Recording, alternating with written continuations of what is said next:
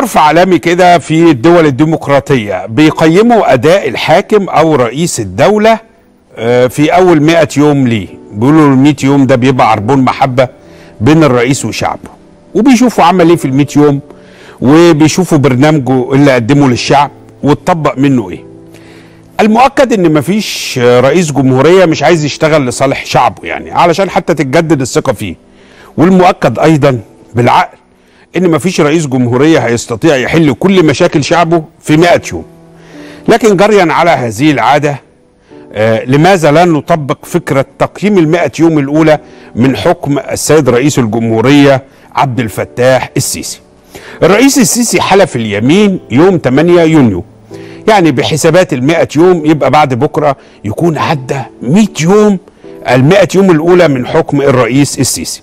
للأمانة الرجل عندما كان مرشحا آه لم يعرض أو لم يقدم برنامجا آه مكون من نقاط واحد اتنين تلاتة أربعة وإنه في الشهر الفلاني هيعمل كذا في الأسابيع الأولى هيعمل كيد ده لم يحدث.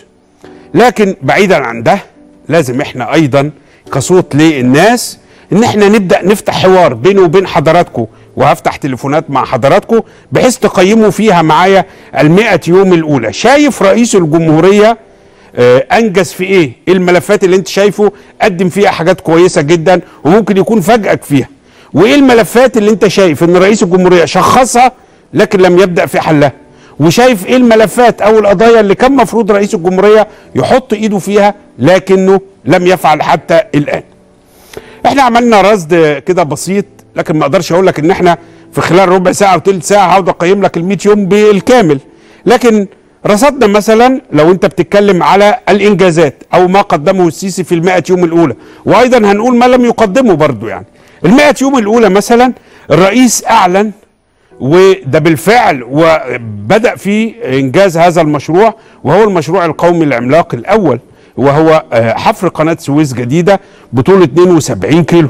مشروع كويس جدا نحييه عليه وإنجاز رائع. عمل أيضا إنجاز آخر وهو ده بادئ فيه فعلا. شبكة طرق بطول 3200 كيلو متر. هيكلفوا مليارات الجنيهات. وزارة النقل فقط هتدفع 17 مليار جنيه يعني 50% من التكلفة. الرئيس السيسي طبق الحد الأقصى للأجور بشكل حاسم. وعايز أقول لحضراتكم في بعض الأجهزة والمؤسسات في الدولة آه رفضت. ولا تزال أيضا ترفض آه بأن يتم تطبيق الحد الأقصى للأجور. وبدأ بنفسه قال أنا أجر 42 ألف جنيه وتبرع بنصف أجره وقال أنا مش أنا يكفيني 21 ألف. أيضا شكل لأول مرة مجلس استشاري هو استشاري ولكن ليه معنى ودلالة من كبار علماء مصر آه في الداخل وفي الخارج. آه خامس إنجاز أنا شايفه إن الرئيس السيسي قام بتعديل قانون التأمين الاجتماعي يا اخوانا وعدل معاش الضمان الاجتماعي ووصل دلوقتي إلى أرقام تتجاوز ال 470 جنيه. فيما يتعلق بملف الإسكان آه وزير الإسكان طرح منظومة آه عدد من الوحدات السكنية فيما يتعلق بإسكان محدود الدخل الإيجار فيما يتعلق بالإسكان الاجتماعي وخلال أيام معدودة ستطرح وزارة الإسكان وحدات سكنية مساحتها من 110 ل 130 متر سعرها لن يتجاوز 400 ألف لما يقال عنه متوسط الدخل وإن كان ده هيوصل لطبقة أعلى شوية من متوسط الدخل. أيضا قام بتعديل منظومة التمويل العقاري كنت تروح علشان تمول شقة بيطلب منك طلبات كتيرة والفايدة كانت بتبقى عالية من 10 ل 11% نزلت الآن الفايدة إلى 8% قام بإزالة إشغالات الطرق من محافظات كبيرة جدا وكانت ده صورة من صور عودة هيبة الدولة. الدولة الأول كنا نقول عليها في الثلاث سنين اللي فاتت مش موجودة وهي لا تزال مش موجودة في بعض الأماكن والقطاعات وهنتعرض لده. ولكن مين كان يتخيل إن أنت لما تمشي في وسط البلد أو شارع 26 يوليو كنت تقول إن هذه العمالة اللي موجودة أو الباعة مش هتلاقيهم تاني. لكن فعلا نفذ ده. حاجة مهمة جدا قد تراها يعني وإحنا بنقيم أداء رئاسي مش شرط إنك تحطها في سجل إنجاز رئيس. بس أنا شايفها حاجة مهمة وهو ترخيص التكاتك.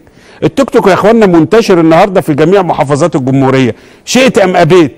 عندما يصدر قانون أو تشريع بتقنين وضع سائقي التوك توك على الأقل تقدر تحاسبهم. أيضا حصل تطوير كبير في منظومة التموين فيما يتعلق برغيف الخبز فيما يتعلق بتوزيع السلع التموين التموينيه في مشاكل أثناء التنفيذ ولكن على الأقل اجتهد آه، طبعا بتكليف لوزير التموين دكتور خالد حنفي بأن يضع يده في هذا الملف اللي كان بيتم فيه تسريب الدعم. من النقاط المهمة اللي تحسب للرئيس الجمهورية عبد الفتاح السيسي هو تحرير المساجد من آه، ناس أي واحد كان معدي كده في الشارع يقدر يطلع على منبر الجامع ويخطب. وتقدر تقول إن كان غالبيتهم من المتطرفين. تشكيل وعي الأمة دينيا أصبح الآن تحت قيادة وزارة الأوقاف. أنا أرى في عجالة سريعة أن التسع أو عشر ملفات الإنجازات للرئيس السيسي في هذه الملفات أنا شايفها أمر جيد في المئة يوم الأولى. لكن عايز أقول في المقابل أيضا الرئيس السيسي فيما يتعلق بالأمن لا تزال العمليات الإرهابية موجودة ما أقدرش أنكر ده. آه، تجاوزت مرحلة سيناء ودخلت في وسط آه، محافظات الدلتا. ده كان حاصل قبل ما يصل إلى الحكم لكنها لم تنتهي حتى الآن. أيضا ملف التوظيف لم يتم توفير فرص عمالة بشكل كبير آه، بحيث يمتص جزء من البطالة. أزمة المرور لا تزال موجودة. أزمة الطاقة أزمة الكهرباء. إحنا طبعا قلنا لا تنتظر من رئيس جمهورية في خلال 100 يوم إن يحل لك كل المشاكل. ولكن على الأقل مثلا رئيس الجمهورية جاء في ملف أزمة الكهرباء والطاقة آه، حدد أو شخص المشكلة. قال أنا عايز 130 مليار جنيه. لكنه لم يقم في المقابل بطرح تصور أو رؤية إزاي نقدر نحل مشكلة الكهرباء ونقضي عليها نهائيا خلال السنوات القليلة القادمة. أيضا في مشكلة بدأت تظهر في عهد الرئيس السيسي وهي مشكلة انقطاع المياه عن مناطق كبيرة في الجمهورية وفي القلب منها القاهرة الكبرى. دي مشكلة أضيفت للملفات اللي رئيس الجمهورية عليه أن يبحثها. أيضا حتى الآن لم يتم تكوين أو تشكيل الفريق الرئاسي لرئيس الجمهورية رغم مرور 100 يوم. ربما رئيس الجمهورية عمال يحسب حسابات معقدة ومركبة حتى يختار الأفضل. لكن رئيس الجمهورية يعمل حتى اليوم في المئة يوم الأولى بدون فريق رئاسي آه، معاون ليه. فيما يتعلق بالسياسة البعض شايف أن السياسة قد تكون ماتت في هذه في المئة يوم الأولى.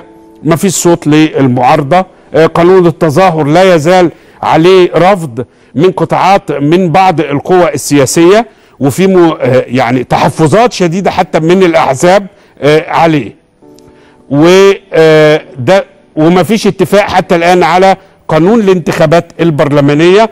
أيضا لم يتم فتح الباب للترشح للانتخابات البرلمانية رغم أنها كانت أحد البنود المهمة في خارطة الطريق اللي أعلن عنها الرئيس السيسي في 3 7 هذه ملاحظات عامة آه، وإحنا بنقيم المئة يوم الأولى للرئيس السيسي. ما له وما عليه ما قدمه وما لم يقدمه ما وعد به ونفذه وما وعد به لكن هناك مشاكل على أرض الواقع. يكفى أقول لحضرتك أحد المشاكل ال- اللي براها خطيرة. بتقابل الرئيس السيسي في حكمه إن الراجل لحد النهارده مش قادر يعمل حركة محافظين. حركة المحافظين آه، قدمت لرئيس الجمهورية مرتين ولكن رفضها رفضها لأن هناك أسماء بتدفع بها أجهزة معينة في الدولة كأنها بتحاول تعيد إنتاج من- منظومة الحكم الفاسدة قبل 25 يناير. هتقابله مشكلة في دي آه بس عليه أن يبحث عن حلول. وأهم حاجة من يثق فيه ويرى أنه كفء فورا يصدر له قرارات تعيين. أعرف أن المشكلة كبيرة لكن عليه أن يبحث عن حلول لأنه في النهاية هو المسؤول أمام المواطن والرأي العام. خلوني أفتح تليفونات مع حضراتكم. ما هو تقييمك للمئة يوم الأولى من حكم السيد رئيس الجمهورية عبد الفتاح السيسي؟ ما له وما عليه. ما الذي قدمه وتحييه عليه ما الذي لم يقدمه وتطالبه أن يبدأ فورا فيه. كلموني من أي تليفون محمول على واحد ثلاث سبعات من أي تليفون أرضي على 0900 9900 ابعتوا رسائلكم على 9 11 سبعتين وخلوني آخد أول اتصال تليفوني من محمد من اليوب. اتفضل يا أستاذ محمد. مساء الخير يا محمد بيه. مساء؟ النور حبيبي. اولا يعني انطباعنا عن ال 100 يوم عن السيد الرئيس السيسي يعني أنا بهني فيه آه، يعني هدوء التام ده ده مش مش يعني أنا مش بعتبره إن ده ضعف. آه، بيحاول إن هو آه، الكلام قليل. قد يكون الفعل بيخطو خطوات بطيئة شوية. ولكن إلى حد ما إحنا حاسين بتغير. قد يكون في أزمة بروز حضرتك بتقول انقطاع كهرباء مية. لكن ننساش حضرتك منظومة التامين اللي شغالين فيها منظومة التعليم وخصوصا الجزئية الخاصة بال- بالمدارس الخاصة الشباب والرياضه يعني عايز أقول إن أنا حاسس إن هو شغال في خطين متوازيين ما بين المشاكل وما بين الاحلال والتجديد وهكذا. آه، أزمة المرور دي حضرتك مش يعني مش هتبقى 100 يوم زي ما كان الناس بيقولونا وال- والوزير ال- الرئيس المعزول قبل كده كان بيتكلم فيها. انقطاع الكهرباء أنا شايف ان النسبة كبيرة اتحلت. يعني أنا تقريبا كانت بتقطع 12 ساعة تقييمك النهائي إيه يا أستاذ محمد؟ يا فندم؟ تقييمك النهائي ال 100 يوم الأولى شايفهم راضي عنهم كمواطن الأولى لو جينا بن... بن... لو في تقدير بنقدر نديه زي التقديرات اللي بنعملها أنا بقول ان ان الرئيس إلى حد ما جيد في ال 100 يوم دول. كويس. اخد سامي من كفر الشيخ. سامي اتفضل. أستاذ سامي. ألو؟ أيوه مع حضرتك. السلام عليكم. أسامة صالح يا فندم من الشرقية. أهلا. أسامة من الشرقية. أسامة اتفضل. من الشرقية اتفضل. أنا تحياتي طبعا لحضرتك أستاذ محمد. أشكرك. وأنا بس طبعا قبل ما نقيم ال 100 يوم ل ل- عبد الفتاح السيسي كرئيس للجمهورية أنا شايف إن أهم حاجة هي المكاشفة والمصارحة اللي صرحها للشعب المصري.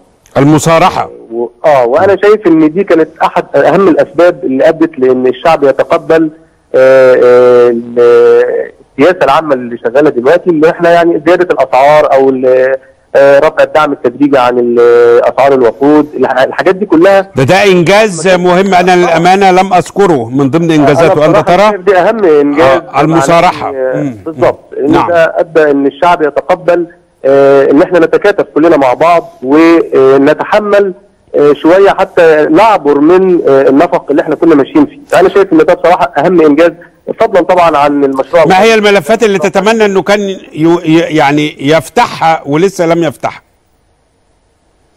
طيب اخد سامي من كفر الشيخ أستاذ محمد ازي حضرتك؟ أهلا بحضرتك والله أنا تقييمي لأداء الرئيس عبد الفتاح السيسي في ال 100 يوم هو طبعا ما ألزمش نفسه ب ما يعني ما وقعش ببرنامج. يحط نفسه ب... ب... وكمان بوعود يعني ال- الرئيس ال- السابق المعزول محمد مرسي آه، حط مجموعة من النقاط ست نقاط وفي الآخر حتى لما جم هم نفسهم يقيموه اكتشفوا إن هو في ال 100 يوم ما نفذش منهم إلا بند واحد فالرئيس عبد الفتاح السيسي كان صريح مع نفسه وما حطش النقاط دي وما ألزمش نفسه بيها لكن هو في نفس الوقت قدر يحقق على الأرض مجموعة حاجات كويسة أهمها المشروعات القومية اللي حضرتك قلت عليها. لكن أنا- أنا, من وجهة نظري شايف إنه مثلا على المستوى السياسي أنا أنا مش حابب إن هو يدخل في قطيعة مع الثورة وشباب الثورة. هو هو موجود آه، آه، امتداد لثورة 25 يناير و30 يونيو. لازم المسار السياسي يتحرك شوية ويحقق فيه إنجازات زي ما عمل إنجازات اللي هي الخاصة بقى بالسلطة التنفيذية والكلام ده كله. حضرتك لفت نظر لقضية مهمة جدا اللي هي الخاصة بتاعة تشكيل مجلس المحافظين. فعلا بيبقى فيه مجموعة من الأجهزة بتحاول إنها تعيد النظام السابق. وهو لازال حتى الآن يقظ أتمنى إن هو يستمر في يقظته دي لأن إحنا كمان داخلين على الانتخابات التشريعية والبرلمانية اللي جاية وأعتقد إن هيبقى فيها مد كبير للنظام السابق في الفترة دي. أنا بشكرك أستاذ سامي. سؤالي لحضراتكم. بعد مرور ال يوم الأولى لرئيس الجمهورية عبد الفتاح السيسي ما هو تقييمك لل يوم الأولى؟ حامد من أسيوط اتفضل يا أستاذ حامد. محمد. أهلا بحضرتك. على مرحبا يا ومن ضمن الإنجازات بتاع سعادة الرئيس أنت نسيت إنه الرئيس طلب يعني تصريح مليون فدان نعم. هو أعلن عن ده ولكن لسه لم يعني يتم اتخاذ إجراءات. أنا بذكر الحاجات اللي أعلن عنها وابتدى فيها. يعني ما أقدرش اغفل قناه السويس الجديدة. ده في آه حفر ماشي ما, آه. ما قلناش حاجة. إحنا انجي يعني جي عن إنجازات سعادة الرئيس يعني حلوة كثيرة ويعني متعددة برضه. نعم. أ- ونطالب في عندنا مشكلة في أسيوط. اتفضل. برضه يعني من يعني من ضمن المليون فدان في محمية في ساحل سليم داخل داخل الحيز العمراني وتقع على أجود أنواع الأراضي الزراعية. مم. ودي زحزحت بقرار يعني بقرار خاطئ من أيام ال- الحزب الوطني عن طريق رجال اعمال في في أسيوط. كان اسمها محمية الوادي الأسيوطي. نعم. فهم استولوا على الأراضي. بتاعت المحمية ونزلوها اتجاه ساحل سليم بقرارات الحزب الوطني المستوية و- واثرت على مواطنين يعني يسكنوا وحاليا المحمية اللي ال- الأرض اللي, اللي وقعت فيها المحمية المنطقة فيها يوجد بها عمارات سكنية منشأة عن طريق الدولة. أنت بتقدم دي شكوى بقى لرئيس الوزراء يكون سامع حضرتك. آه ما من يعني ما يعني يعني شكوى لو انت حضرتك بتنتخب وزير البيئة اللي هو تابع ليه المحمية بعد شوية. حاضر حاضر.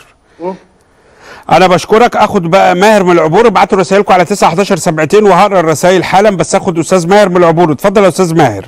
أيوه مساء الخير يا أستاذ محمد. أهلا بحضرتك. ازي حضرتك؟ الله أهلا. المائة يوم الأولى للرئيس عبد الفتاح السيسي. شايفهم إزاي؟ أنا أنا أنا شايفهم بمستوى جيد جدا. كويس. شايفهم بمستوى جيد جدا وما بيتخص عليه غير ان إن عندنا عندنا بعض الوزارات ليس لها أي قيمة ووزارات آه، ملهاش أي اديني أمثلة اديني أمثلة اديني أمثلة. أمثلة ما اوديك أمثلة حضرتك. آه عملنا وزارة لتطوير العشوائيات. نعم. أنت ترى حتى الآن لم يحدث إنجاز فيها. ده- آه، الوزارة ديت ليس لها أي معنى. إزاي أعمل وزارة لتطوير العشوائيات؟ إزاي اعمل وزارة لتطوير العشوائيات وأنا لم أ- وأنا ما صدرتش قرار أصلا بوقف العشوائيات أساسا. مم. النهارده انزل حضرتك مصر الجديدة ومدينة نصر وهتلاقي آه، بيوت وفيلات بتهدم وبتقام عليها ابراج و- وما هي دي كلها عشوائيات. نعم نعم. ف- فالوزارة ديت ما فيهاش اي لازمة خالص.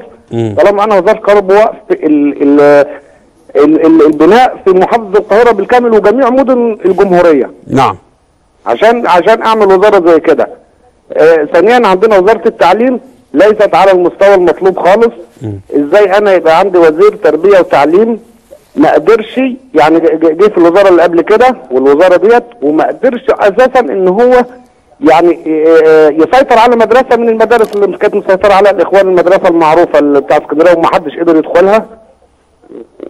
أوكي خلينا ناخد دكتور. حاضر حاضر أستاذ ماهر. إحنا بس بنحاول نتيح تع- تعليقات آه، كثيرة لعدد كبير من حضراتكم. اخد دكتور حسن من القاهرة. دكتور حسن اتفضل. دكتور حسن من القاهرة اتفضل. السلام عليكم يا أستاذ محمد السلام ورحمة الله وبركاته. آه اولا أنا عاوز يعني أشكرك على هذا البرنامج المحترم وعلى أسس الأعداد المحترمين. وأقول لحضرتك اولا يكفي إن الشخصية المصرية شخصية الفرد المصري ارتفعت قيمتنا بين الشعوب بين الناس ارتفعت. آه، آه، احساسنا إن إحنا بقينا لنا لنا وضع بين الأمم حاجة عظيمة جدا. الواحد دلوقتي يفتخر إن هو مصري. نعم. أي مكان بيروح يقول أنا مصري.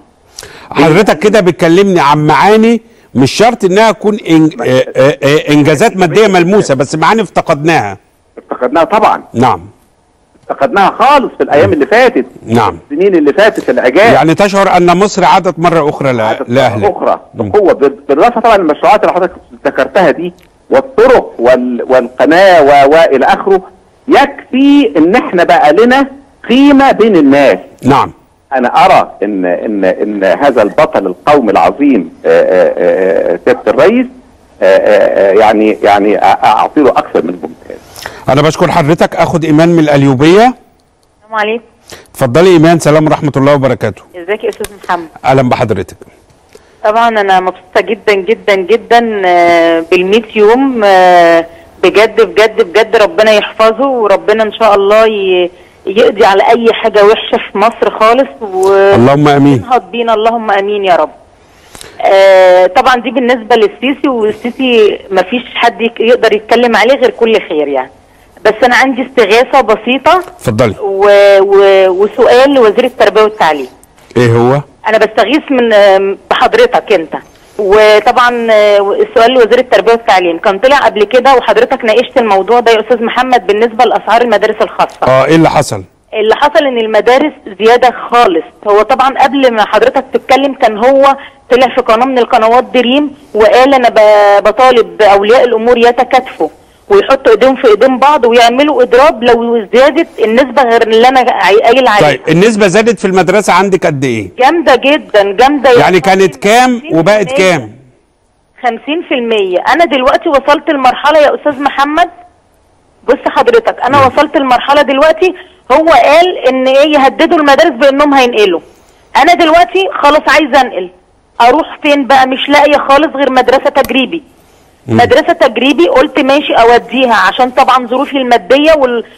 والظروف المعيشية اللي حضرتك شايفها والحمد لله هنستفيد طيب أنا هستسمح حضرتك بس الكنترول هياخد من حضرتك اسم المدرسة آه وتقولي له كان ال- السعر كام والسنة دي زاد كام عشان نتواصل مع وزارة التربية والتعليم وأقدر أجيب لك رد النهارده حتى على الأقل. آه محمد منين يا شباب؟ بني سويف أستاذ محمد اتفضل. آه شباب خدوا التفاصيل من مدام. إيمان. محمد من بني سويف اتفضل. السلام عليكم. السلام ورحمة الله وبركاته. أستاذ محمد قول لي رأيك في المئة يوم الأولى من حكم الرئيس السيسي. أهلا 100 يوم والله. طب جميل. إيه اللي عاجبك فيها؟ يعني كل شيء حلو عيش حلو وتومين حلو كل حاجة حلو الحمد لله. آه طب كويس. بني سويف الكهرباء فيها والمية والعيش كله زي الكهرباء الفل؟ تحت زي الأول الكهرباء الحمد لله كويس. اتحسنت آه ولادك بيشتغلوا؟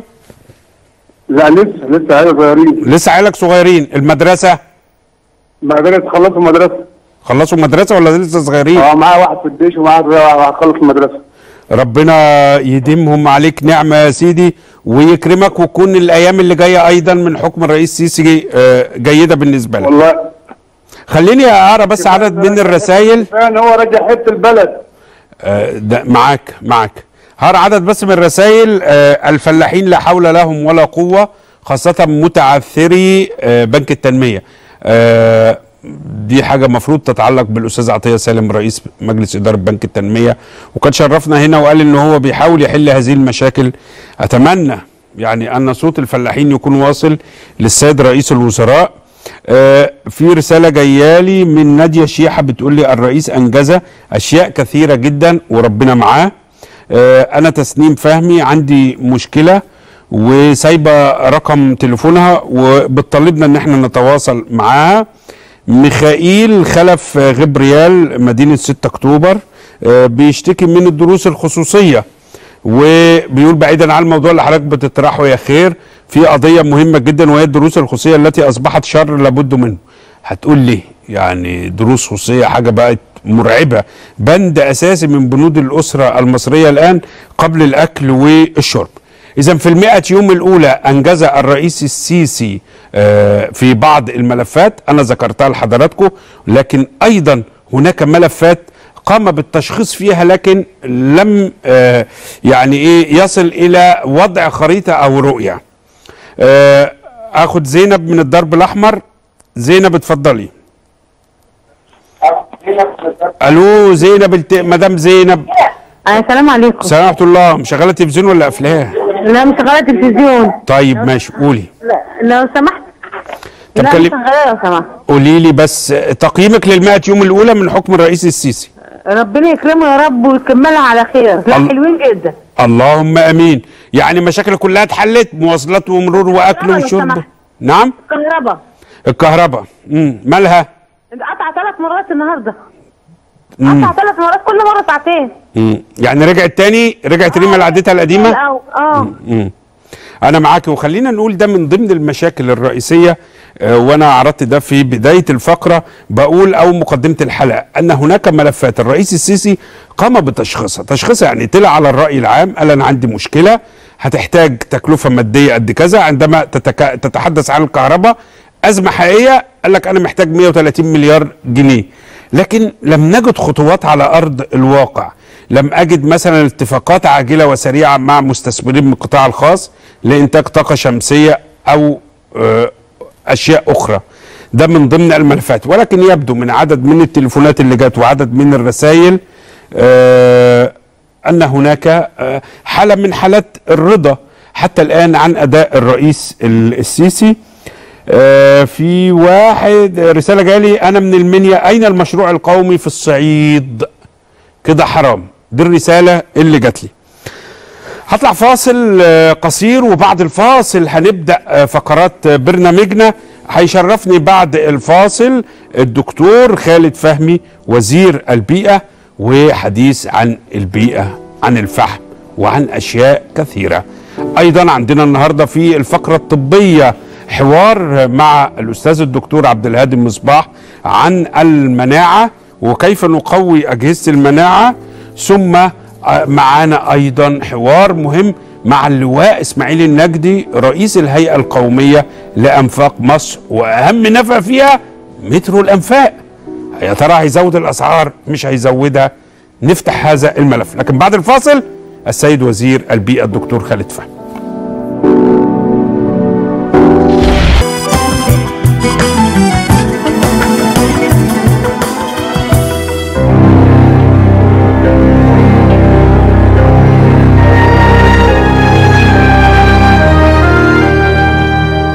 مشاكل قديمة وأزمات مستمرة وعقبات بتتولد كل يوم. بتواجه المسؤولين في وزارة البيئة اللي كان الناس بيعتبروها وزارة شرفية من ساعة ما تأسست لكن النهاردة بقى ليها دور في كل مشاكلنا اليومية. من بين مشاكل زي حرق قش الرز والسحابة السوداء ومشاكل القمامة وإعادة تدويرها ومخلفات التكنولوجيا كانت قضية استخدام الفحم كبديل للطاقة التقليدية هي الموضوع اللي تصدر الصورة في الفترة اللي فاتت. وما بين وزيرة سابقة بترفض ووزير حالي موافق ومرحب كمان لدرجة انه وعد المصريين إنهم يعيشوا زي سكان أوروبا اللي عايشة في بيئة نظيفة رغم استخدامهم للفحم. وبعيد عن مشاكل الفحم واستخدامه في مصانع الأسمنت بدل الغاز الطبيعي لسه قدام وزارة البيئة ملفات كتير وكلها مهمة. زي حماية النيل من أي تعديات ودراسة الأبعاد البيئية لمشروع محطة الضبعة النووية وتطوير منظومة جمع المخلفات الزراعية واستخدامها في توليد الطاقة وتوفيق أوضاع المصانع الملوثة للبيئة وتلافي أي مخاطر بيئية نتيجة بناء سد النهضة الأثيوبي وتحسين الحياة في القرى الأكثر احتياجا في مصر. والأهم من ده كله زيادة وعي المواطن بمفهوم حماية البيئة وخطورة تلوثها سهى رضا برنامج مساء الخير.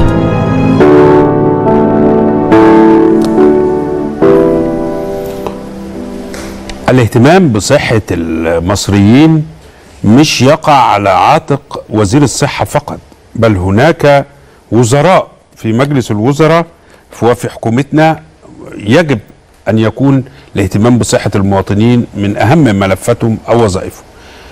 من بين هؤلاء الوزراء بل أعتقد وفي تقديري أيضا أن هم ربما يفوقوا آه، أهمية دور آه، وزارة الصحة وزارة البيئة. النهارده بيشرفني الدكتور خالد فهمي وزير البيئة. عايز أفتح معاه حوار لا ينقصه فيه الصراحه لأن حال البيئة في مصر للأمانة ينبغي ألا يكون مسؤولية آه، وزير فقط. بل دولة بأكملها. وبالتالي نفتح هذا الحوار بس قبل ما افتحه آه، لازم نذكر عدد من الأرقام والدراسات. دراسات بتقول إن الفحم مثلا من أكثر مصادر الطاقة استهلاكا للمياه خلال عملية حرقه كما أنه يحتوي على 76 ملوث مختلف بخلاف المادة الصلبة نفسها. ملوث. وضيفي العزيز النهارده هو من أحد كبار المؤيدين لإدخال الفحم في مصر لاستخدامه لتوليد الطاقة. وأفتح معاه هذه القضية. وكالة حماية البيئة الأمريكية قالت إن تكلفة الأضرار الصحية لاستخدام الفحم في أمريكا بلغت 53 مليار دولار عام 2011 بينما فيما يتعلق بالدراسات في مصر لو إحنا استخدمنا الفحم الأضرار الصحية بتقدر ب 3.2 من عشرة مليار دولار يعني بتتكلم في 25 مليار جنيه. طيب هل إحنا ندخل الفحم ويبقى عندنا مشاكل؟ آه وبعدين نقول يا حكومة اصرفي وفلوس لوزارة الصحة تقول لك أجيب منين؟ وإحنا عارفين حال مستشفانا هي قضية مهمة جدا. قبل ما أبدأ الحوار خلوني أرحب بضيفي العزيز الدكتور خالد فهمي وزير البيئة. أهلا بحضرتك أهلاً يا بيك يا فندم. منورنا ومشرفنا. الله يخليك. شرف لينا يا فندم. في لقب كده أطلقه عليك البعض آه، وزير الفحم. أي نعم. آه إيه تعليق حضرتك؟ أو عندما قرأت هذا اللقب. والله أنا سئلت السؤال ده يعني أكثر من مرة وكان ردي أنا مستعد أبقى وزير الفحم وزير البي وزير الأسفلت وزير الزفت. طالما ان أنا هقدر أحرك الاقتصاد المصري وإن أنا أدفع بعجلة الاقتصاد المصري وأقضي على الفقر والتخلف والبطالة. إذا كان هو ده اللقب اللي أنا فده تمن بسيط قوي إن أنا لقب كده يعني. وأنا كمان بيلقب بيبقى هو كويس قوي يعني. هعود لقضية الفحم. أيوه آه عندنا مشكلة طاقة الكل يعترف بده. آه عندنا أزمة طاحنة رئيس الجمهورية أعلن إنه محتاج 130 مليار جنيه نعم الفحم هو أحد مصادر المنتجة للطاقة. عندما أقرأ عن ملف في ملف استخدام الدول الكبرى آه، في آه، توظيف الفحم لإنتاج الطاقة وتابع أيضا المحاذير والخطوات التي تتخذها. اذا خلينا نتفق في البداية لن تقنعني ولن أقنعك بأهمية الفحم لإنتاج الطاقة وعندنا دول بتستخدم ده. جميل. لكن هو السؤال في حاجة واحدة. إن أنا عندي دول بتحافظ على صحة الإنسان عاملة ضوابط لاستخدام الفحم ضوابط قاسية وقويه هل أنت كوزير وفي وزارة بيئة تملك القدرة على تطبيق المعايير بينما أنت مش عارف عفوا يعني آه، إن كم مصنع بيلوث سنين مش قادر آه، يعني تمنعه؟ هتقدر تحافظ على صحتي كمواطن وأنت هتدخل لي الفحم؟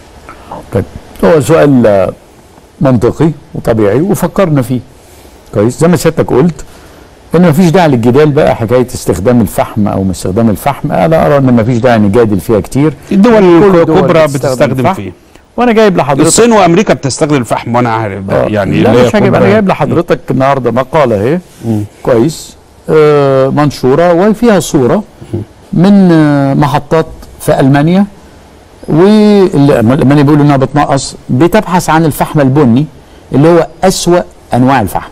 نعم.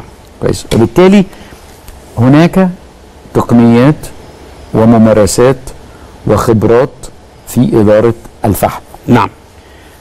اللي سيادتك قلت شوية أرقام في الانترو وسيادتك بتقول اني إني آه عندنا 76 ملوث في الفحم أي نعم. نعم. لو حضرتك حرقت حرقت الفحم مكشوف لو حضرتك كده زي ما هنكون مثلا بنشوي كباب أو بنشوي ذرة وحرقنا الفحم كده آه هيبقى فيه 76 ملوث طبعا لكن مش مشكلة من 76 مشكلة المشكلة طب هو حرق المازوت فيه كام ملوث وحرق الب- البنزين فيه كام ملوث ما مش معنى كده كويس. زود البيئة آه يعني. لا حطينا معنى بالنا كده يعني. إن هناك تكنولوجيات موجودة للحرق كويس. انت مش حضرتك ما تجيش زي ما مثلا وكالة حماية البيئة ب 53 مليار دولار.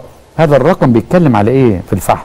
بيتكلم على كل حياة الفحم اللي هي من أول الاستخراج اللي هي أصعب 75% من أي أضرار ممكن تحدث. هي في الفترة الأولى وهي استخراج الفحم من الأرض وعملية غسيل الفحم وعملية نقله إلى المصانع. هي دي أخطر حتة. أما الحرق طالما إنك بتستخدم التكنولوجيا الحديثة ما عندكش مشاكل. الدراسة دي بتتكلم وأنا رجعت للدراسة دي عشان في ناس كتير قوي اتكلموا عليها. بس للأسف إن الناس بيجتزئوا الدراسة. وما بيقولوش الدراسة نفسها قالت إيه. الدراسة قالت إن إن ده بس على محطات الفحم الجيل الثاني واللي كانت معمولة علشان آه، أمريكا تتنقل للجيل الرابع في محطات الطاقة. فهو ما كانش بيتكلم على الأسمنت اللي هي مشكلتنا في مصر. الأسمنت ده امن طريقة لحرق الفحم شهادة دولية من كل الخبراء حتى الخبراء اللي زارونا قبل ما ناجي الوزارة وكانوا المفروض يعملوا تقرير وعملوا تقرير قال لأ مصر ضروري تستخدم الفحم في الأسمنت وحددوا كمان النسب القصوى لاستخدام المخلفات كخليط مع الفحم قالوا إن ما توصلش أكتر من 40 فإحنا عندنا كل 40 إيه؟ 40% يعني حضرتك خليط. أنت ممكن تحرق حاجات مع الفحم. آه، عشان نعم. تقلل كمية الفحم. هو عفوا إحنا آه، آه، عندنا حجم إنتاج جيد سنويا في الفحم من مصر؟ لا إحنا لا ننتج الفحم. لا ننتج إحنا الفحم. عندنا فحم المغارة وهو نوعيته رديئة؟ آه، مش رديئة يعني عشان تست... عشان ترفع جودته يبقى اقتصاديا مكلف. طيب اذا إحنا هنستورد. الفحم. أنا قرأت مثلا إن عملية الاستيراد نفسها نزول الفحم من المينا وإيصاله للمصنع دي عملية بتمر ب يعني هي دي بقى العملية. بضوابط؟ أنا مع حضرتك. هي دي العملية. آه لكن أنا بشوف الطرق عفوا في. مصر وحضرتك بتركب هذه الطرق وشايف الإهمال. ولو الولد ظبط بقرشين هيمشي العربية والدنيا زي الفل. جميل حضرتك. فحضرتك مش مسيطر على كل العناصر. أنا مش ضروري أسيطر على كل العناصر لأن في جهات كتيره هتسيطر على العناصر. في بقى حاجة تانية نعم. تخليه غصب عنه في حالة الاسمنت إن هو ينضبط. إيه؟ ودي اللي بقى أجزاء من الضوابط اللي إحنا اتفضل، حاطينها اتفضل. كويس. إن إحنا ندي رخصة استيراد الفحم لشركة الأسمنت. مصنع الأسمنت اللي بيصنع الأسمنت. آه. هيستورد الفحم. هو اللي يستورد ويبقى مسؤول عن كل العملية من ساعة الاستيراد لحد الحرق. مم. أو محكوم. ما يبقاش بقى عم حسين المقاول اللي جاب عربية طب ما هو قطاع خاص وهو إيه. ماشي على الخط لا هيظبط لا لا الناس فندم هو دي اولا هو قطاع خاص بس هو قطاع خاص آآ آآ يعني شركات عالمية لها سمعتها لها بلادها اللي ممكن تعمل لها فيها زيطه لها حاجة تانية أهم من كل ده. إن هو هيستثمر مئات الملايين علشان يحول الافران بتاعته وال- والمكن بتاعه ل- للفحم للفحم مش نعم. هيقدر تاني يرجع يستخدم المازوت. ولا الغاز. فأصبح مدمن للفحم. وانت اللي ماسك المفتاح. إحنا مش معترضين ان هو يستورد فحم ويستخدم الفحم جوه صناعة الاسمنت بنتكلم إحنا معترض الناس. على مرحلة النقل اللي هي أخطر مرحلة. جميل. أول حاجة حدد مين المسؤول. تاني حاجة مم. إحنا بحثنا كل المواني اللي موجودة في مصر. وصنفتها وصنفناها إلى عدة مجموعات. نعم. إحنا بتفاوض دلوقتي مع الأسمنت وبالتالي ففي حاجات تفاصيل ما أقدرش أقولها لأن إحنا يعني قاعدين على الترابيزة دلوقتي يوم نعم. الخميس إن شاء الله هن- هنقعد مع بعض مع كل رؤساء مجلس شركات الأسمنت آه هم ليهم مجموعة في الغرفه 13 أو اللي هم- 17 اللي هم صاحب مصنع. المجموعه التنفيذية. وهم طلبوا إن هم خدوا الحاجة وبعتوها للشركات وهيجوا يقعدوا معانا. على المستوى الفني والمالي وال- والقانوني نعم. لأنها ضوابط متعددة مم. وزي ما واحد منهم طلع من يومين آه، أول امبارح على ما أعتقد وقال إن المعايير متشددة. كويس؟ المعايير اللي حطها وزارة البيئة؟ طبعا لأن يا فندم مجلس الوزراء قال في القرار. إن إحنا نستخدم الضوابط الأوروبية. آه حقي كمواطن ما, ما أنت هتكسب. طب الضوابط الأوروبية ضوابط متش... شديدة وصارمة. طبعا. كويس؟ وبتقوم أساسا على إن أنا بحط معايير ويجب الالتزام بيها. فإحنا جينا للمواني. أنت عندك حضرتك مواني بنوعيات مختلفة. محتاجين تجهيزات في هذه المواني. من ضمن برضه ما علمته وأنا مش متخصص. أن مواني مصر على إطلاقها غير صالحة إنها تستقبل شحنات الفحم. طب أمال إزاي بتستقبل؟ وإنها محتاجة ما أنا أهي. آه اتفضل. محتاجة تجهيزات عالية طبعا. يعني. لأن دلوقتي حضرتك إحنا عندنا بنستورد الكلينكر اللي هو بتاع الأسمنت. مم. وشوف عامل الدوشة اللي عاملها إيه. مم. فأنا لو ما كنتش استوردت فحم كنت قفلت الأسمنت واستوردت كلينكر. مم. كان هيعمل لي دوشة أكتر من الفحم 20 30 مرة. مم. لكن نرجع لمرجوعنا. في أفضل الممارسات. في حاجة اسمها اللي هي ال BAT اللي هو best available technology كويس؟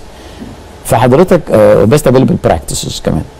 بتجيب أحسن ممارسات تمت وتحطها دي هي تبني عليها المعايير بتاعتك. بتختلف المينا على حاجة. يعني في مواني عندنا بكر أو بمعنى أصح مرحله المرحلة التقنية اللي هي فيها محتاجة تطوير بس عندها إمكانيات للتطوير.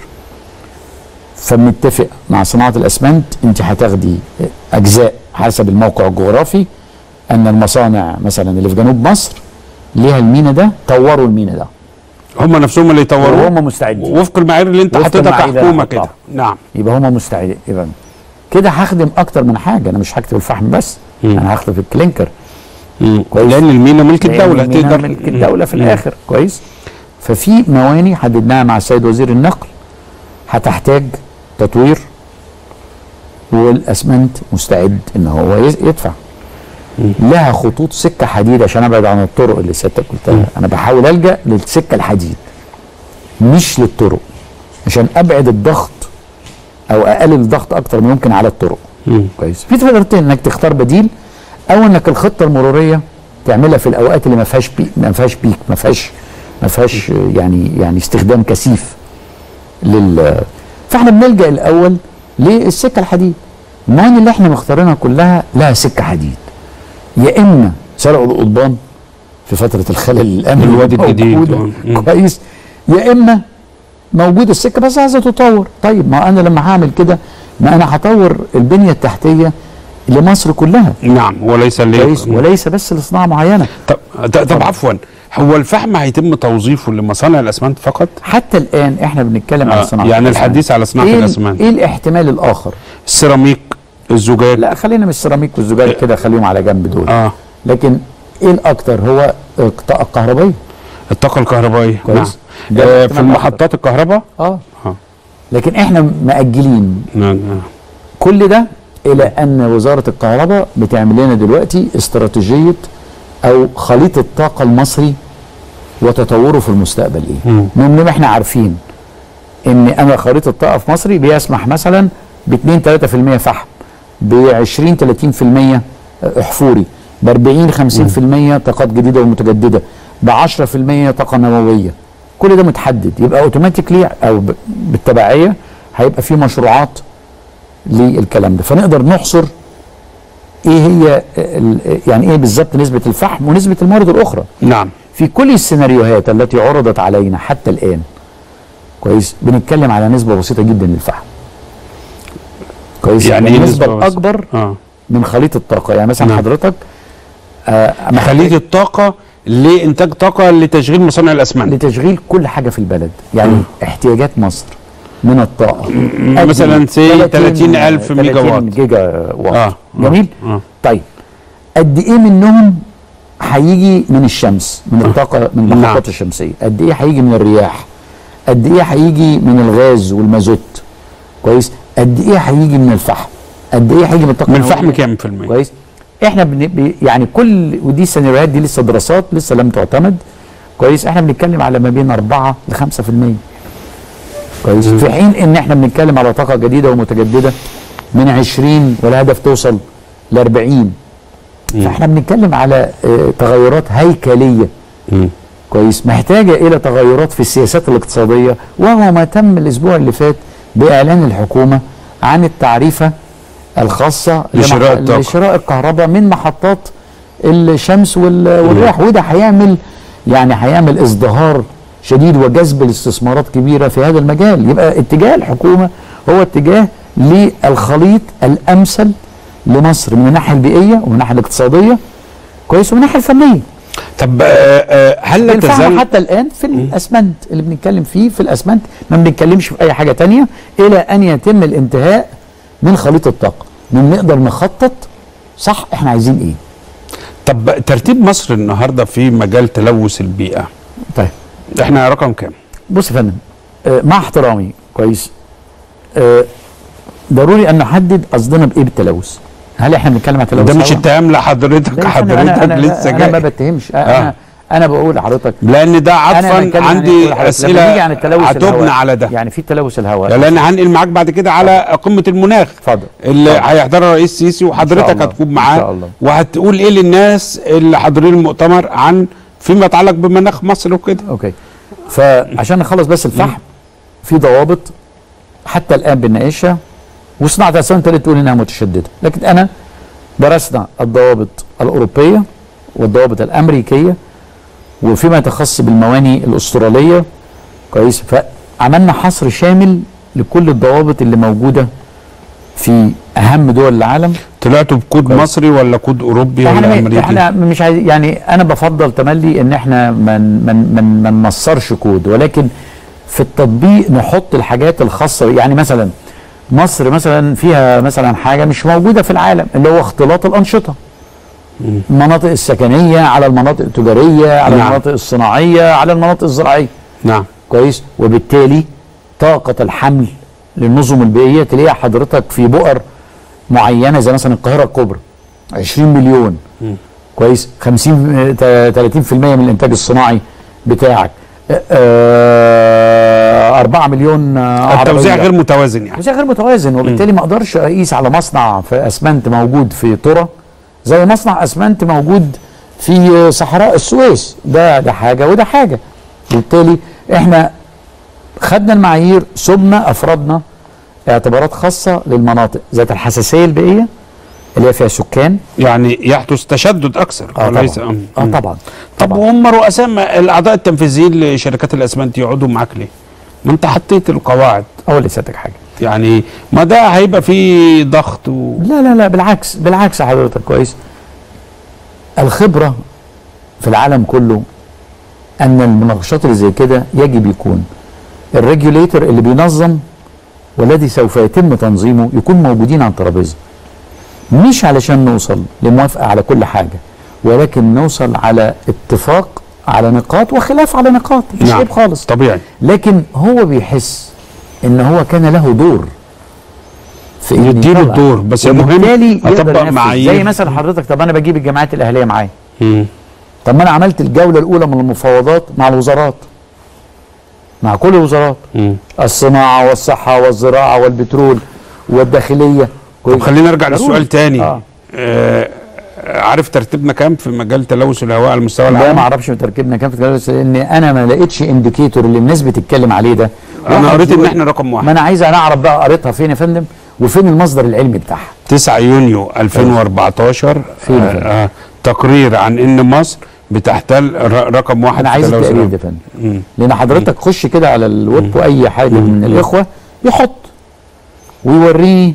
لكن بنقول إيه مثلا؟ إن أنت في تلوث الهواء كويس؟ فإن القاهرة فيما يخص الأتربة اللي هي ال PM 10 اللي حجمها PM 10 أو اللي حجمها 2.5 هي أكتر من المعدل الدولي مثلا ب كم في؟ الضعف. الضعف. كويس؟ وبالنسبة للبي ام 2.5 أكتر من كده ثلاث أضعاف. فلما بقارنها ببقية الدول ببدأ أقول دي ترتيبها نمرة 3 أو 2 في ملوث معين. لكن مش طب بالكلام البلدي كده. إحنا وضع الهواء بتاعنا انت إيه وضع في الهواء عند الكبرى؟ حضرتك وضع الهواء في المناطق ال- الحضرية والتجمعات السكانية نعم. الكبيرة آه. المشكلة الأساسية خاصة القاهرة الكبرى هي الأتربة الأتربة الأتربة آه. ليه الأتربة في القاهرة مم. اولا لأن من غير تلوث ومن غير نشاط سكاني ولو سيبنا القاهرة زي ما إحنا خدناها قبل قبل ما الفاطميين يجوا يبنوها. إيه اللي هيحصل؟ كويس. برضه هيبقى فيها اتربه؟ حضرتك هتلاقي لأن حضرتك منطقة جافة تحاط بهضبتين هضبة المقطم وهضبة الأهرام. فهي عاملة زي عنق الزجاجة. مم. من غير أي حاجة لما تقيس حضرتك الأتربة وقسناها 75 مايكرو جرام بسبب وقوع. القاهرة كويس. الفاطمية بين آه، هضبتين. بين هضبتين. تشتت الهواء ضعيف جدا لأن لا في هواء. ولا في مطر ولا في رياح. نعم. فاللي بي التلوث اللي بيحصل جواها أو أي انبعاث يحصل جواها يفضل موجود لفترة طويلة. بما إن معدلات التلوث متجددة فعندك ارتفاع في الأتربة. الأتربة خاصة ليه؟ لأن عندك هضبتين الاثنين من أحجار جيرية بتتطاير مع الهواء مش مش صخور أنت ما عندكش صخور زي الجبال التانية. كويس؟ فعندك أساسا من غير أي تلوث 75% أو 50% من المعدلات المسموحة أنت عندك طبيعيا حط بقى عليها إن في حجم أنشطة رهيب جوه كويس ال- وبالتالي أيوه القاهرة عندنا مشكلة فيها كويس عندنا 33% من الأتربة اللي موجودة سببها أساسا الطرق غير المعبدة مم. والطرق الغير م... اللي هو بنسميه ريسايكل داست طب في مؤتمر المناخ اللي هيتعمل في نيويورك أيوة. قريبا لو وجه لكم أي يعني آه، انتقاد تساؤلات عن وضع الهواء في القاهرة إحنا لما بنتكلم على هل إحنا جاهزين برو- آه بردود؟ طبعا مم. إحنا لما بنيجي نتكلم فندم على التغيرات المناخية بنتكلم على مجموعة من الغازات اللي لما بتطلع بتعمل زي حلة الضغط. عارف سيادتك حلة الضغط مم.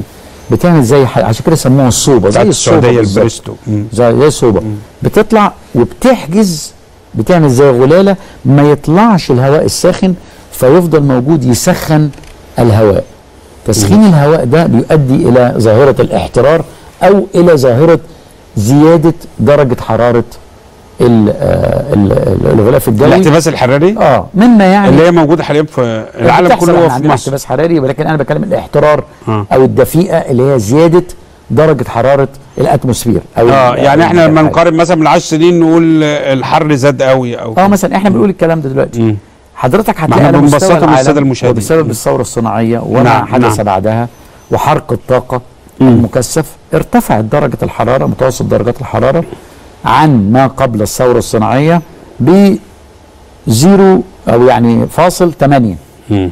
من وده رقم كبير. ولا قليل؟ كويس ده رقم حتى الآن مش كبير ولكن المشكلة إن هو بيتطور بسرعة آه قابل للزيادة وقابل للزيادة وإحنا بنحاول نوصله لاثنين بس درجة بتحاولوا هنا ك كعالم كعالم. كعالم آه، آه آه. كويس طيب تيجي بقى لما يجوا يقولوا لنا يا مصريين أنتوا دوركم إيه في العملية دي؟ مم. طيب ما العملية بس بس إحنا يا فندم بنطلع نص في المية نص في المية نعم. من غازات الاحتباس دي مم. وبالتالي لما قارنها بدولة قطر معلش يعني. آه بتطلع قد؟ إيه؟ هتلاقي حضرتك إن دولة قطر بتطلع لي 7% ولا حاجة. يا. قارن بقى بير كابيت. كل فرد مننا لأن كل فرد مننا في حياته اليومية بيطلع غازات احتباس حراري. كويس سواء من خلال نشاطه المباشر أو من خلال نشاطه الاقتصادي أو من خلال تنقله إلى آخره. فتلاقي حضرتك إن المواطن المصري بيطلع 2.6 حاجة بسيطة. طيب بس إحنا برضو هنتأثر بما يتم دي بقى الم- هي دي بقى آه الحديث. عنه في المتغيرات إن المناخيه إحنا غير متسببين ولكن إحنا مجني علينا. لأن لما يحصل زيادة في درجة الحرارة يبدأ القطب الشمالي في الذوبان تنزل المية أكتر على البحار يبدأ يرتفع مستوى المحيطات والبحار والبحر المتوسط وقيل في هذا تردد كلام ان الإسكندرية معرضة مش للغرق الإسكندرية كويس ولكن الدلتا؟ ال- الأماكن المنخفضة من الدلتا قد تكون معرضة لإن بعضها لكن لم يثبت. علميا إذا كانت هتغرق ولا لا؟ سيناريوهات هو في سيناريوهات مختلفة بحسب درجة الحرارة اللي هتزيدها. يعني لو حضرتك زدت واحد ونص في المية مفيش حاجة. من أول اتنين ممكن يبدأ يحصل حاجات. لو وصلت لتلاتة وأربعة مصيبة. ما هي أول كده مدينة يعني. مصرية في الدلتا معرضة للغرق؟ مش مدينة. إحنا ما بنتكلمش على مدينة. منطقة إحنا. بنتكلم مثلا بحيرة المنزلة مثلا على سبيل المثال ممكن أن تغمرها البحر. وبعديها البحر هيغطيها ويوصل لفين؟ لا بقى دي مشكلة. ما هو لو غطى أنت المنزلة رايح كفر الشيخ آه ما ما لو غلا لو لو عمل المنزلة آه. كويس. والبحيرات الشمالية. نعم. البحيرات الشمالية علشان هي مية لا هي عذبة ولا هي ولا هي مالحة اللي هي براكش ووتر. مم. فهي بتمنع ملوحة الم- المية المالحة إنها تخش على الدلتا. نعم. فإذا دي بقت مالحة غطتها مية يبقى في خطر على الأرض الزراعية اللي موجودة في محافظات زي كفر الشيخ وزي الدقهليه إلى آخره. عندنا تصورات مختلفة وسيناريوهات عالمية مختلفة عن الكلام ده ولكن مصر من المجموعة الثانية من الدول المعرضة. في مجموعة أولى اللي هي الج- ال- ال- الجزر الصغيرة زي المالديف مثلا. المالديف. متوقع لها إنها تغ- تغرق خالص. تغرق تماما. كويس دي مجموعة أولى. في مجموعة ثانية ممكن تتأثر. على حسب هنوصل درجة الحرارة فين. طيب إحنا مجني علينا لأن اللي بيطلع غازات الاحتباس الحراري هي الدول المتقدمة أو الدول اللي ما يسمى بالدول البازغة النمو زي الهند والصين والآخر. والصين. كويس؟ فالرد جاهز يا فندم في الحد دي. وهم ما بيجوش يقولوا لنا كده. هم بيحاولوا إن هم يقولوا إن تكلفة تخفيف الانبعاثات دي تتوزع علينا كلنا. عايز أقول لحضراتكم قبل ما اطلع فاصل ضيف الكريم اللي بيقول هذا الكلام وهو الدكتور خالد فهم وزير البيئة. هتفاجئوا لما تعلموا أنه كان يعمل ضابطا بالشرطة. آه لا يعيب طبعا و ده شرف ضباط. الشرطة شرف. آه, آه, آه حماة الوطن في الداخل. بس آه العلاقة ج- جات إزاي؟ إيه اللي جاب البيئة للشرطة وإيه اللي جاب الشرطة للبيئة؟ خلينا نفتح مع هذا الحوار بعد هذا الفصل.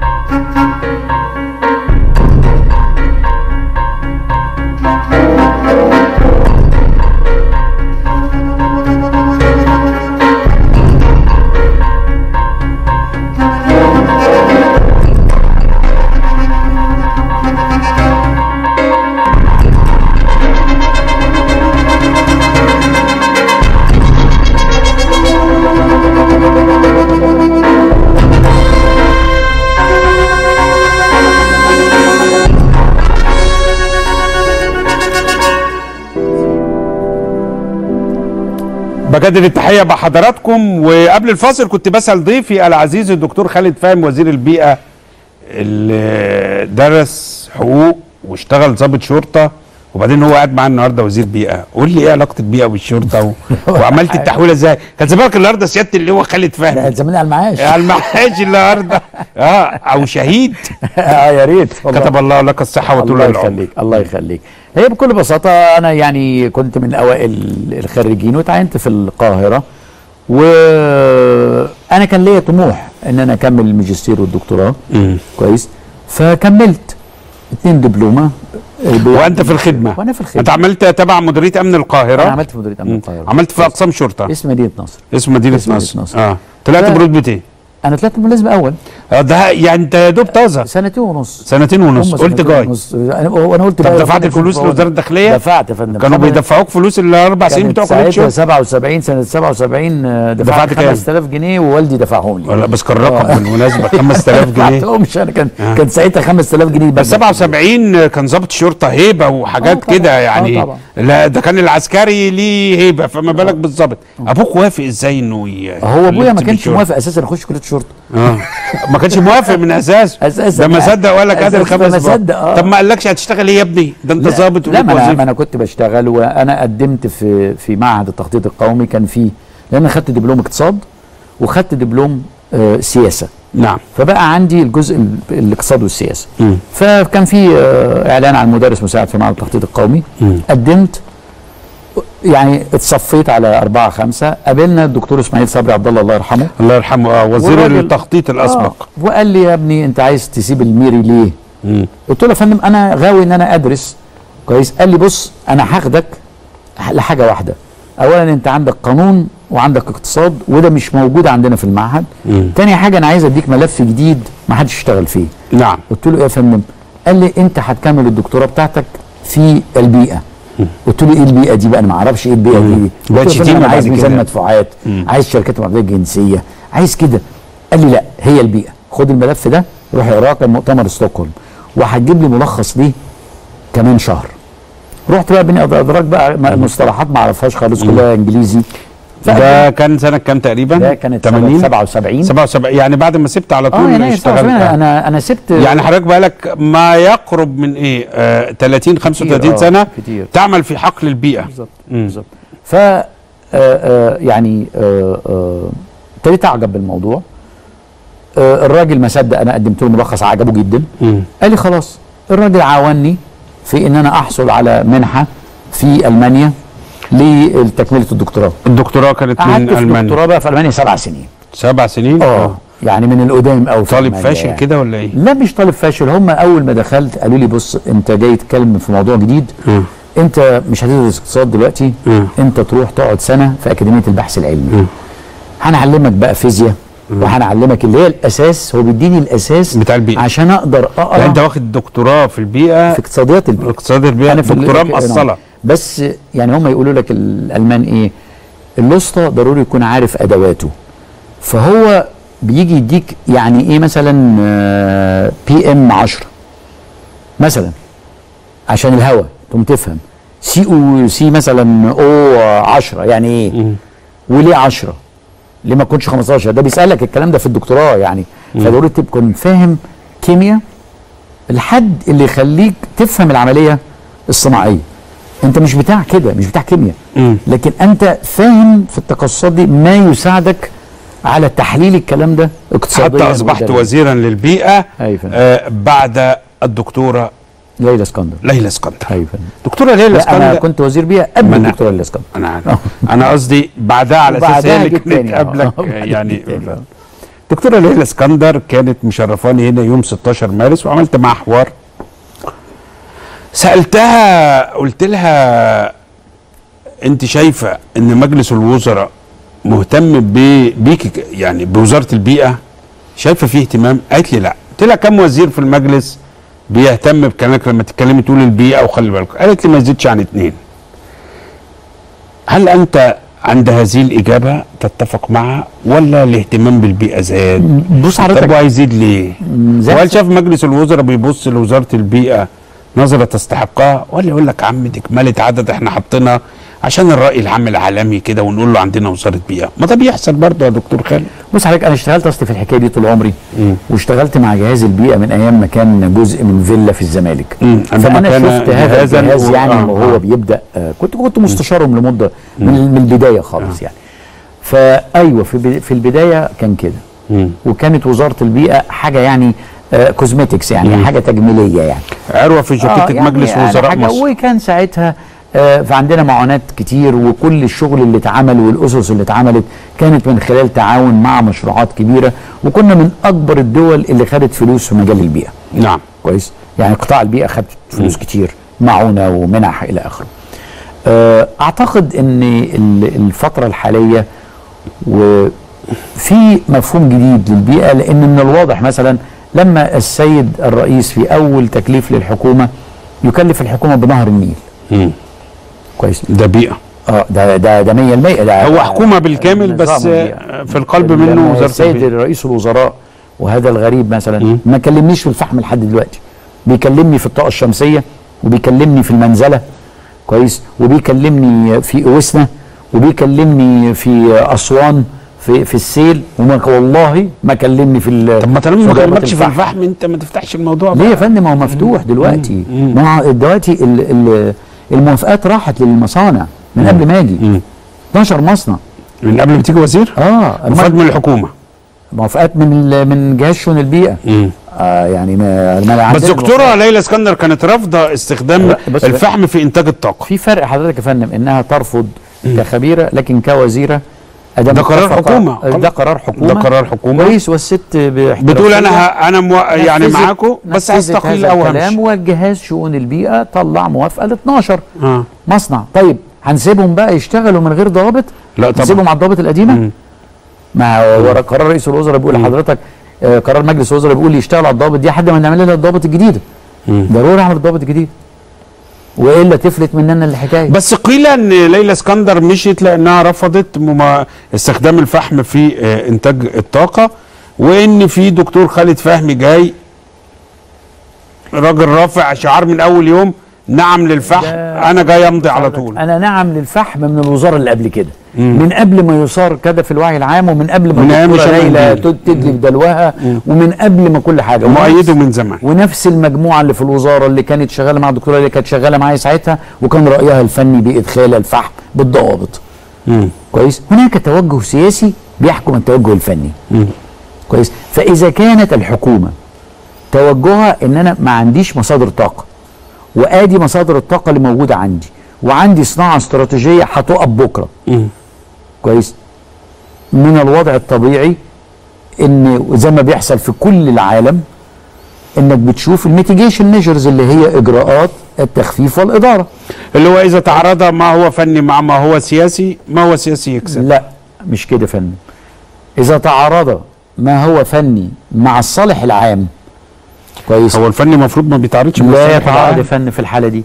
لأن حضرتك لو بصيت بنظرة ضيقة وكل المعلومات اللي قيلت ثلاث أرباعها خطأ كويس وخطأ بين والألمان لما جم اللي جم قبل كده قالوا كده في تقريرهم. قالوا إن المصريين يهدروا الطاقة بحرق الغاز في أفران الأسمنت. عايزين إيه أكتر من كده؟ وقالوا إن كل العالم بيحرق فحم وإن أنسب طريقة لحرق الفحم هو أفران الأسمنت. فما الجدال يعني؟ إحنا بنجادل في إيه؟ بنجادل في فاكتس دي حقائق. كويس؟ أنا اعلمها من زمان أنا خريج التلوث الصناعي. نعم. والدكتوراه بتاعتي كانت على حلوان وعلى اسكندرية.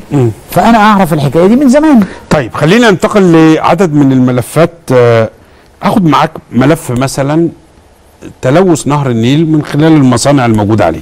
أيوة. للأمانة كل الحكومات كبرت دماغها. مم. من بعد 52 ده اللي هو نوعاه تاريخيا يعني. فندم هتعملوا إيه؟ عملنا خلاص يا فندم إحنا عندنا بس قبل ما تقول اتفضل. أنا أعلم وبشكل شخصي أن هناك مصانع ملوثة ده للنيل اللي هقول لحضرتك في كفر الزيات بتعمل ما عارفة وزير البيئة جاي ولا وزيرة البيئة بتحط السدادة كده وزي الفل وتتصور معاها وبعد ما تمشي اصرف يا ولد في النيل لا إحنا بنفتش باستمرار وكفر الزيات ما بتصرفش في النيل مم. كفر الزيات بتصرف في المصارف مم. والمصارف بتنتقل. وتنزل في البحيرات مم. فما فيش صرف من كفر الزيت والاثنين البحيرات دي كويس. حتى أنا كنت جايب معايا البحيرات دي فين بس؟ البحيرات الشمالية. آه. المنزله والبرولوس فوق. مم. ده مش معناه إن آه إن الكلام ده صح. مم. لأ تلوث. لكن إحنا اتفقنا مع السيد وزير الري السيد وزير الإسكان على خطة. خطة أول حاجة المصانع التي تصرف على النيل مباشرة. نعم. والترع. إيه الخطة؟ كويس. إحنا عندنا 102 منشأة عندنا دلوقتي اللي لا زال على النيل على النيل مباشرة 102 تم تم معالجة كل ده مش فاضل غير تسعة عالجتم 93 مش في منشاه الشهر اللي أنا بشتغل فيه عارف،. آه. ده بقالنا يعني شهرين. اتعالجوا إزاي؟ ما هو بيصرف لسيادتك النيل. بيتعالجوا إزاي هتعمل له إيه؟ هو المصنع بيطلع إيه بيطلع مية تبريد آه. ومية عمليات صناعية نعم بيخلطهم على بعض علشان يخلي نسبة الملوثات تبقى غير التركيز آه، يقل. أقل، نعم. يبقى تبع إيه؟ تبع القانون. نعم. كويس. إحنا قلنا له لأ. هنفصل مية التبريد عن مية العمليات الصناعية. نعم. مية التبريد حضرتك هتعيد استخدام المية. يؤيدني في ذلك إيه؟ إن ارتفاع أسعار المياه. لما نعم. شلنا الدعم عليها بقى اصبح التكلفة الحقيقية تبان للمصنع. يبقى هو من مصلحته. ما هي التبريد اللي هي مخلفات إيه؟ اللي هي حضرتك في مصانع بتستخدم بتبقى عندها مراجل وإلى آخره. فبندخل مية التبريد عشان تبرد العمليات. دي وبعدين ميه مش شديدة التلوث. دي مية مش شديدة التلوث بس فيها حرارة عالية نعم. بتموت السمك. نعم. بتموت الهيئات وال- هتعملوا فيها إيه دي؟ بقى؟ دي بنعمل إعادة استخدام. المصنع يستخدمها. تاني. المصنع طيب. يستخدمها تاني. المية الثانية المية الثانية عمليات صناعية. بنعمل عملية عمليات معالجة بحيث إن اللي طالع يكون زي الحتة اللي هيصرف فيها. فاحنا مانعينه من الصرف في النيل هيصرف فين؟ في المصارف. المصارف المفروض رايحه على محطات معالجة. كويس؟ فاحنا تأكدنا من خلال محطات صرف عنده يعني مثلا الحومديه عاملة محطة بيولوجية متكلفة من كذا سنة 50 مليون جنيه. ففضل عندنا تسعة اللي لسه لم ي... آه، تسع مصانع. تسعة. واحد بكرة بدعو سيادتك الصبح بدري كويس إحنا أنتوا بتصحوا بدري الساعة 6 و7 شغالين مع مهندس المهم إبراهيم؟ والرئيس السيسي. هي دي بتناموش آه. فإحنا رايحين بكرة نفتتح مع السيد وزير التموين آخر مرحلة بحيث الساعة تخلي 7 الشركة الصبح. دي. آه وزير؟ التموين كان بيقول لي.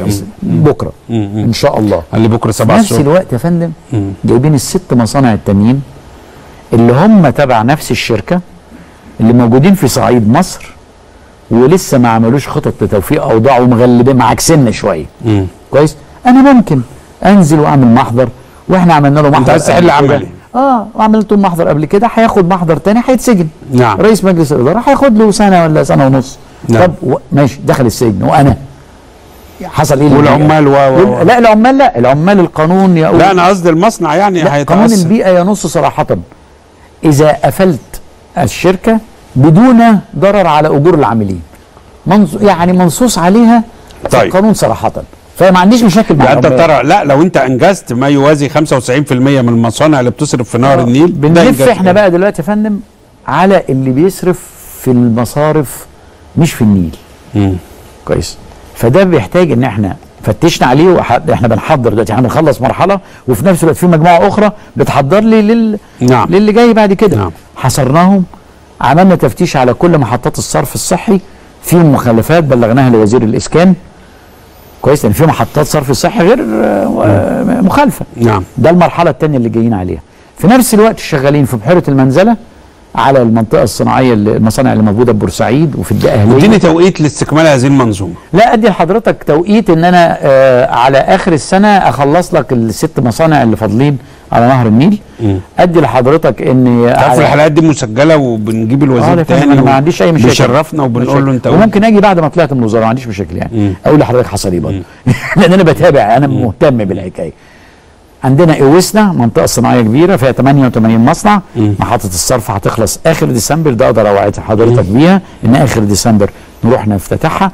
عندنا في آه آه ال- في الد- في اللي بتصب على المنزلة إن إحنا متوقعين في خلال ست أشهر لسنة إن إحنا نكون عملنا محطتين الصرف ال- الكبار في بورسعيد وقدرنا نسيطر طيب. على المصانع الباقية. خليني- لكن حضرتك عايز بس أقول للناس حاجة.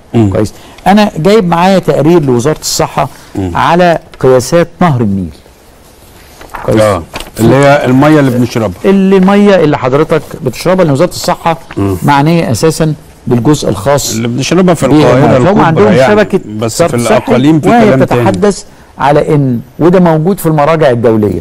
نعم تتحدث عن إيه؟ النيل بصفة عامة بصفة عامة. لما تاخد كنظام بيئي لا زال غير ملوث. عندنا بؤر للتلوث. مم.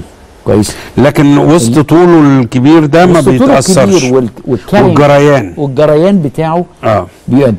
بالإضافة إن أهم البؤر الملوثة فين؟ أهم البؤر الملوثة هقول لحضرتك اهمها موجوده آه. كويس هتلاقيها بجوار آه، مراكز إيه؟ صناعية. آه كده والصرف الصحي آه. هي اللي عاملة ما ده. برضو عندك صرف صحي في النيل. آه. لأن عندي بقى صرف صحي عشوائي. طب آخد منك المناطق. كويس. شديدة التلوث. لا يعني مش شديد التلوث البؤر. البؤر كويس. الملوثة في النيل. يعني أهي حضرتك البؤر الملوثة. أحدث حاجة. البؤر اللي هي بيئة. موجودة. كويس. عندنا مثلا نتائج متبقيات المبيدات وهي أهم حاجة ملوثة للبيئة إنها في حدود المسموح بها لجميع المحافظات. تركيز المعادن الثقيلة في المياه في حدود المعادن الثقيلة. أهم حاجتين المعادن الثقيلة والمبيدات. تركيز. عندي بقى مشكلة في إيه؟ عندي مشكلة في تلوث بعض الأسماك بالمعادن الثقيلة للمحافظات اللي هي الشرقية والسويس. محافظات الشرقية والسويس. آه. لأن السمك هناك كويس؟ بيتعرض إنه بيتعرض ينفق فبينفق فهناك عندي مشكلة. كويس؟ هي زيادة إيه؟ هي المفروض تكون آه 0.3 مللي جرام لكل كي- كيلو جرام هي 0.38 يعني الفرق واحد في المية مش كتير. بس ده بيخلينا إيه؟ إيه بقى الخلاصة؟ يا جماعة يا بتوع الصرف الصحي خلصوا الصرف الصحي. ويا جماعة يا بتوع المصانع هي مكتوبة أهو جهاز البيئة أهو. الحس ال- لتوفيق أوضاع المصانع اللي تصرف على المجال المائي اللي إحنا بنعمله. أيوه يا فندم عندنا مشاكل تلوث في بؤر معين. وأيوة يا فندم محتاجين 19 مليار جنيه للصرف الص- الصحي. لمعالجة مشاكل لمعالجة الصرف الصحي. الصحي. إحنا عندنا 50% من سكان مصر يتمتعوا بالصرف الصحي. إحنا عندنا يا فندم 25% من سكان مصر يتمتعون بالصرف الصحي ربع السكان؟ و75% يا فندم من السكان لا يتمتعوا بالصرف الصحي والله اللي بيقولوا لك دي بيانات حكومية ما أنا بقول. لسيادتك يا فندم طب أنت. قصدك لأن. أنت إحنا فيها كل يوم. أنت في المجلس كل يوم كويس يعني أنا فيها آه، كل يوم آه. كويس 75% من المصريين لا يتمتعون آه، بالصرف الصحي كلهم قرى لأن القرى يا فندم يعني وصلنا لها المية يعني قبل كده كانوا بيوصلوا المية عشان يقولوا إحنا وصلنا المية لكن ما عملناش صرف صحي فمشاكل ال 30 سنة دي جاية عليك دلوقتي إنك تحل مشاكل ال 30 هو سنة. ده اللي. بيؤدي إلى إصابة عدد كبير من المصريين بأمراض الفشل الكلوي وكده؟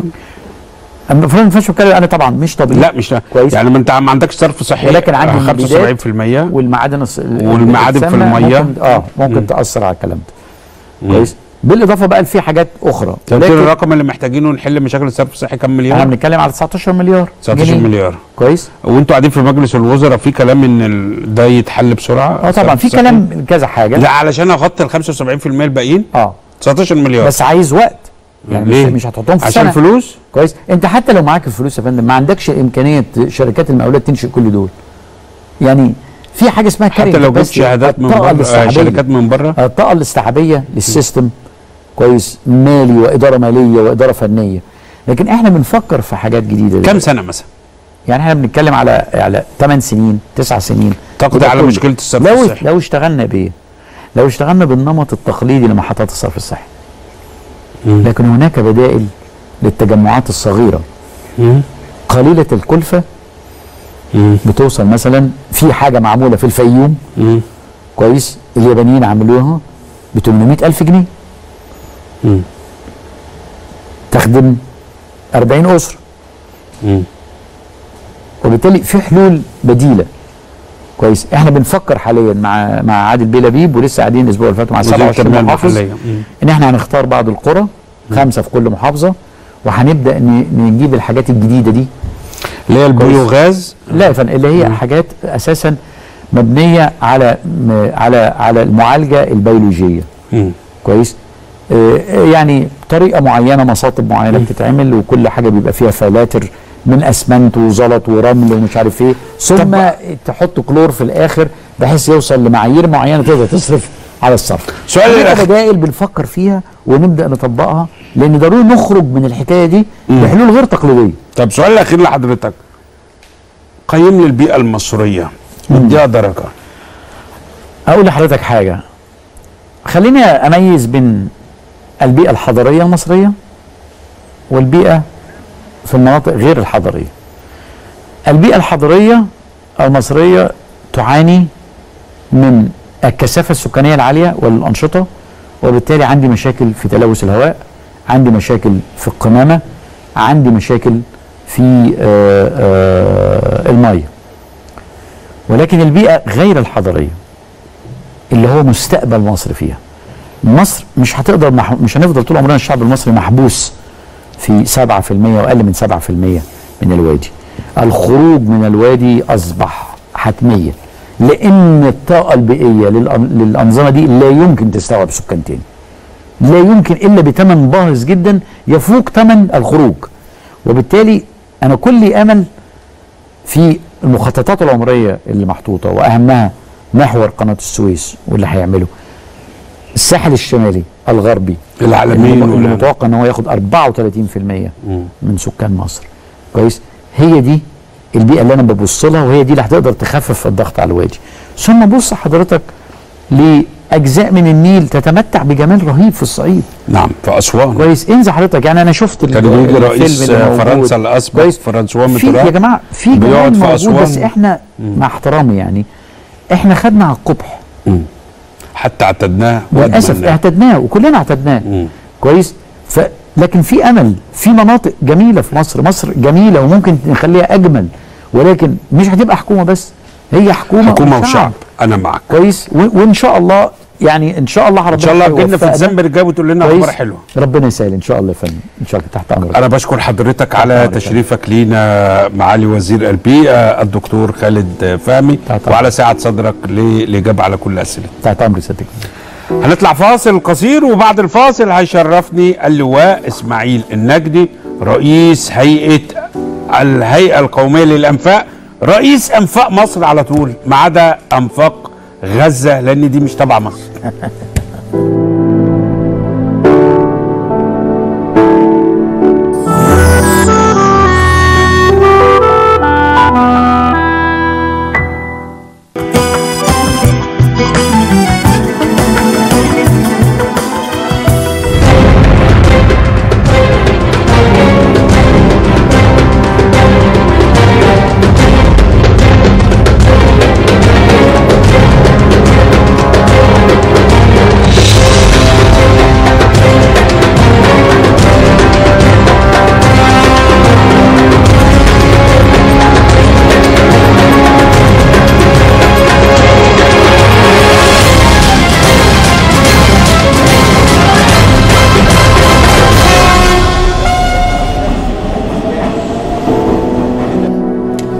خرجنا من البيئة. ندخل أيضا على البيئة على أنفاق مصر ومترو الأنفاق حوار النهاردة آه، يكون فيه إجابات على أسئلة كثيرة جدا.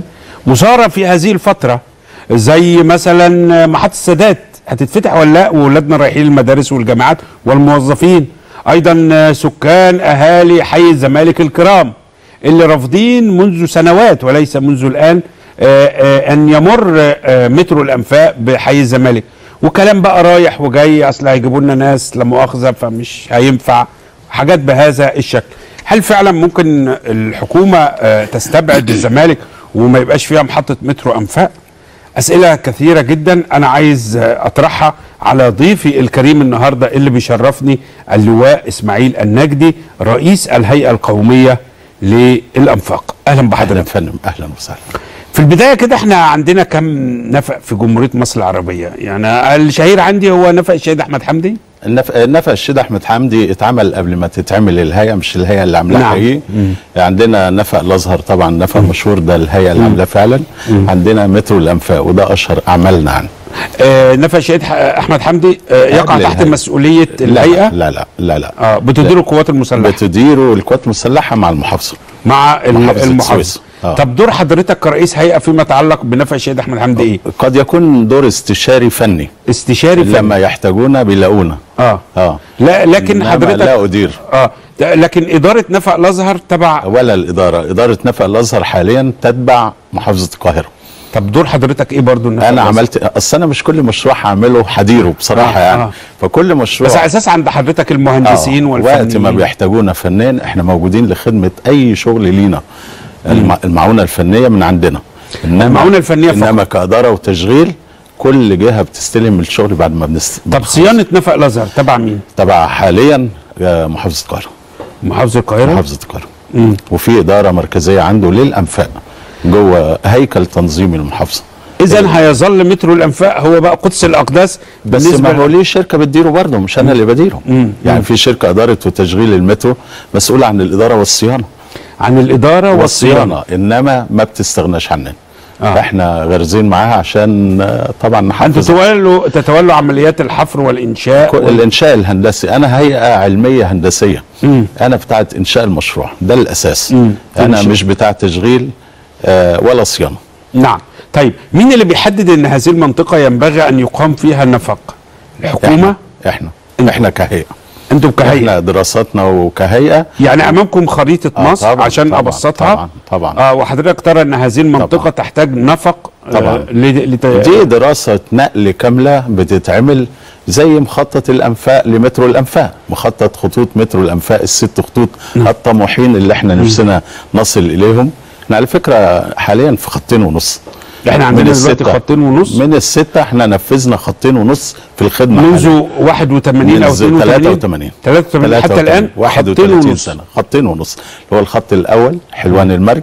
الخط الثاني شبرا الخيمه المنيب والخط الثالث اللي إحنا شغالين فيه حاليا.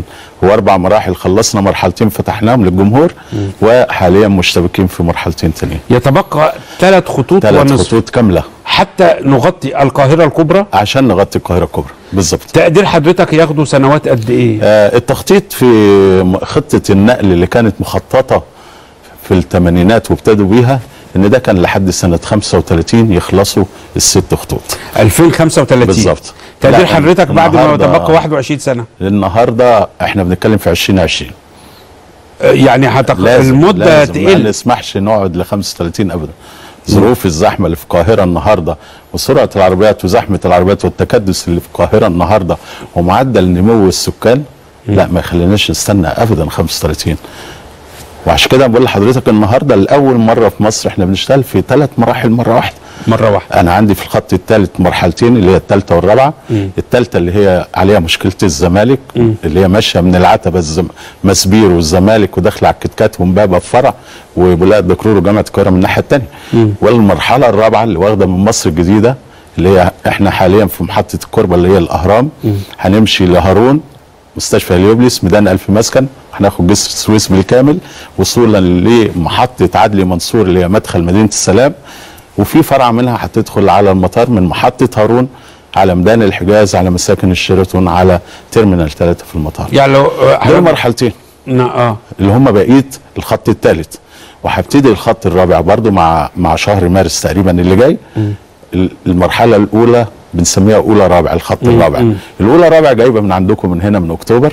لحد عمرو بن العاص أو الفسطاط اللي هي مصر منين في. أكتوبر هتبدأ؟ من قدام دريم لاند من قدام من دريم قدام دريم لاند محطته يعني طريق الواحات ده هيبقى في محطة مترو؟ آه دريم لاند هيدخل على آه المتحف الجديد على خلف نادي الرماية على النصر يعني يبدأ من دريم من يبدأ دريم، من. المح... يعني طريق الواحات يعني. بالظبط فعلا وهيوصل لشارع النصر الصحراوي ويمشي تحت شارع الهرم بالكامل لميدان الجيزة ويدخل على مصر القديمة. لكن دي آه، المرحلة الأولى. المرحلة الأولى. المرحلة الأولى. الثانية هتاخد من عمرو بن العاص اللي هي مصر القديمة أو الفسطاط هتوصلنا لحد القاهرة الجديدة وأول طريق السويس. فهتلاحظ حضرتك إن أنا جايب القاهرة من من هنا لهنا من أكتوبر للقاهرة الجديدة لطريق السويس ده من شرق ألغرب. أنت بتتكلم من. أكتوبر للتجمع ده الخامس حقيقه ده حقيقه هتبدأ في أكتوبر إمتى؟ آه المرحلة دي اللي هتبتدي على شهر مارس الجاي إن شاء الله شهر مارس شهر مارس يعني. هنشوف قدام مدينة الإنتاج الإعلامي هتشوف حفر, وشغل و- بقى آه. هنشتغل فعلا إن شاء الله قدام مدينة إن شاء الإنتاج الله. ال- هناخد. لنا في حدود الثلاث سنين نخلص من هذه المرحلة ده. كلام هتلاقي. مترو في خلال ثلاث سنين هنا في أكتوبر ده علشان الشباب اللي بيشتغلوا في إن المدينة شاء الله إن شاء الله طيب نلحق. حضرتك ترى إن ست سنوات حضرتك قلت 2020 أيوة، ننتهي أيوه كافية لإنتاج ثلاث ونص. والله إحنا إحنا طموحين جدا. وإحنا قعدنا 30 سنة أيوة، في أيوة. اتنين ونص خط خطين ونص. عايز أقول لحضرتك إحنا بنجري. مصر كلها بتجري دلوقتي حقيقة. دي حقيقة. الرئيس لما كان بيجري في السبق بالعجلة وطلع الأول على فكرة. فاكر الصورة بتاعت الرئيس الشهيرة اللي طلع فيها في الماراثون بتاع العجلة؟ آه، الساعة وطلع- خمسة آه الصبح. بالظبط. وقبل كده جري ماراثون على رجليه.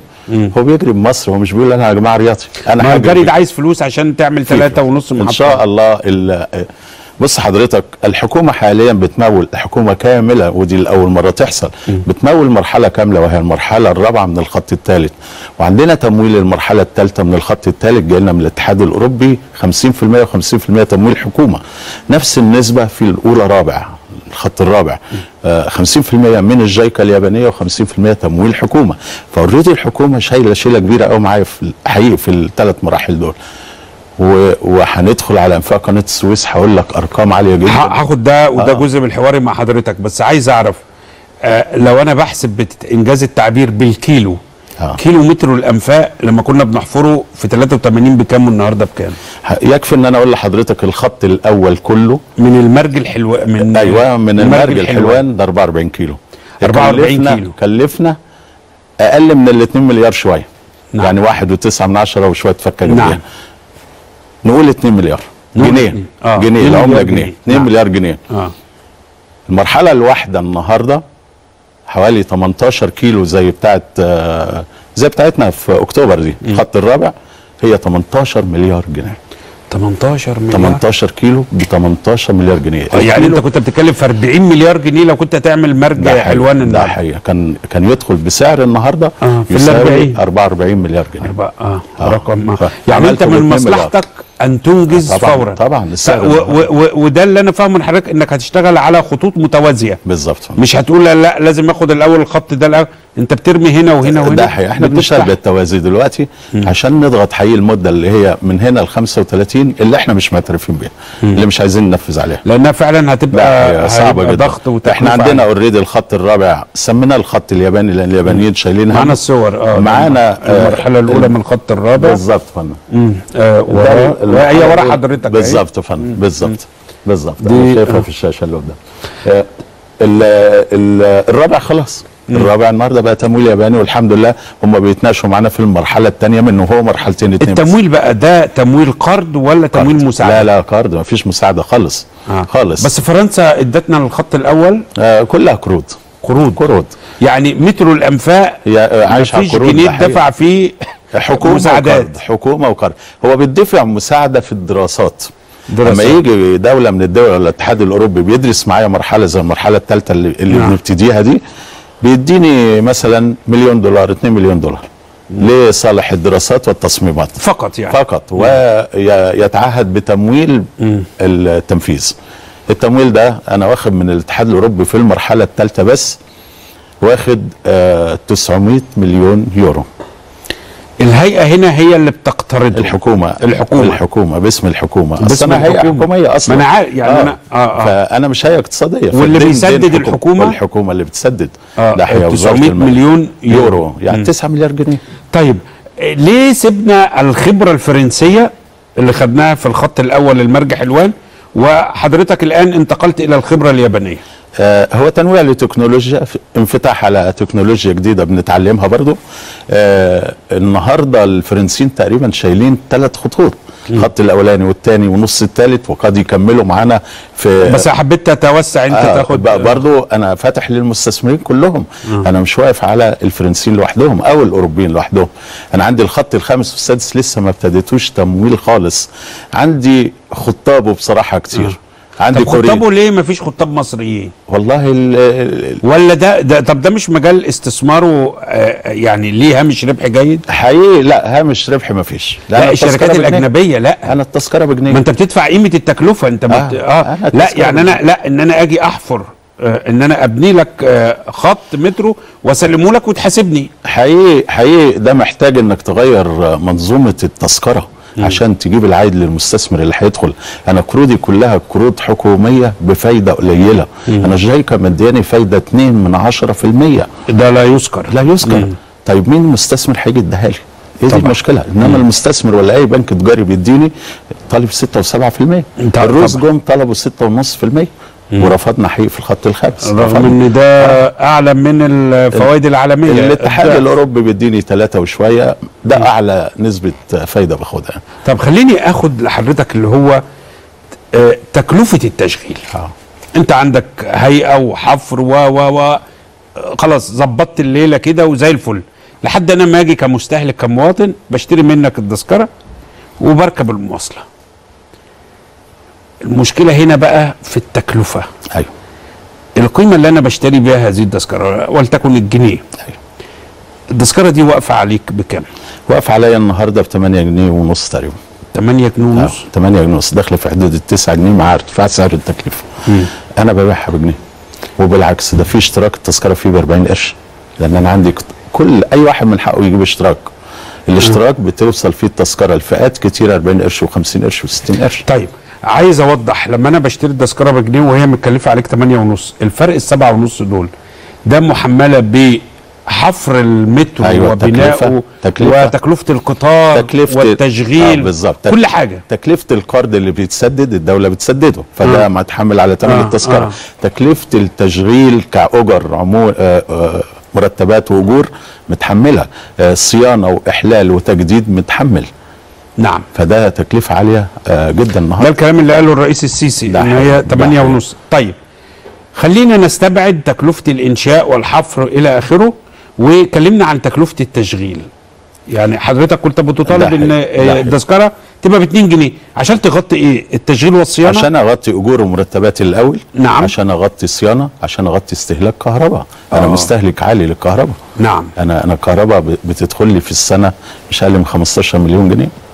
مليار قصدك مليون مليون مليون مليون في السنة بتستهلك آه، 15 مليون جنيه 15 بس مليون جنيه آه. تقريبا واخد بال حضرتك لأن أنا سعري خاص جدا أنت بتاخد أح- كهرباء بسعر آه ده أنا باخدها مدعمة من الحكومة آه. آه. الحكومة ما بتدينيش كهرباء تجاري خالص ده بتديهاني مدعمة وده أحد مصادر الدعم للتذكرة آه، طبعا آه, آه يعني السبعة ونص دول آه. مش جايين من فراغ لا لا, مش من فراغ داخل فيها حقيقي. كهرباء. داخل وحفر. المترو والصيانة والتشغيل. كل ده, ده نعم. أيوه علشان اصل لقيمه عادله يبقى لازم التذكرة بتعمل جنيه ونص. وده صعب قوي. ده صعب. لو مستثمر جه آه. وبأي نظام من أنظمة الاستثمار النهارده دخل ينشئ معايا خط من الخطوط عايز يشتغل كده وده طيب صعب جدا. أنا معاك. وده وضع الدولة وده ظروف الاقتصادية وده حل المواطن المصري. أيوة. لكن هل معنى كده وهناك ظروف بيراعيها تراعيها الدولة ويراعيها الرئيس؟ هل معنى كده إن أنا أسكت ولا مفروض يكون عندي بدائل أخرى؟ ده حقيقي. إن أنا أزود بيها الدخل هو ال- التكلفة ديت النهارده. أنا شركة الإدارة والتشغيل للمترو اللي هي بتجيب الدخل صراحة آه. هو مش أنا اللي بتجي لي الثمن عارف، يعني إحنا الشركة النهارده أنا عضو مجلس إدارتها وعارف ميزانيتها أكيد. نعم. الشركة النهارده ابتدت تخسر.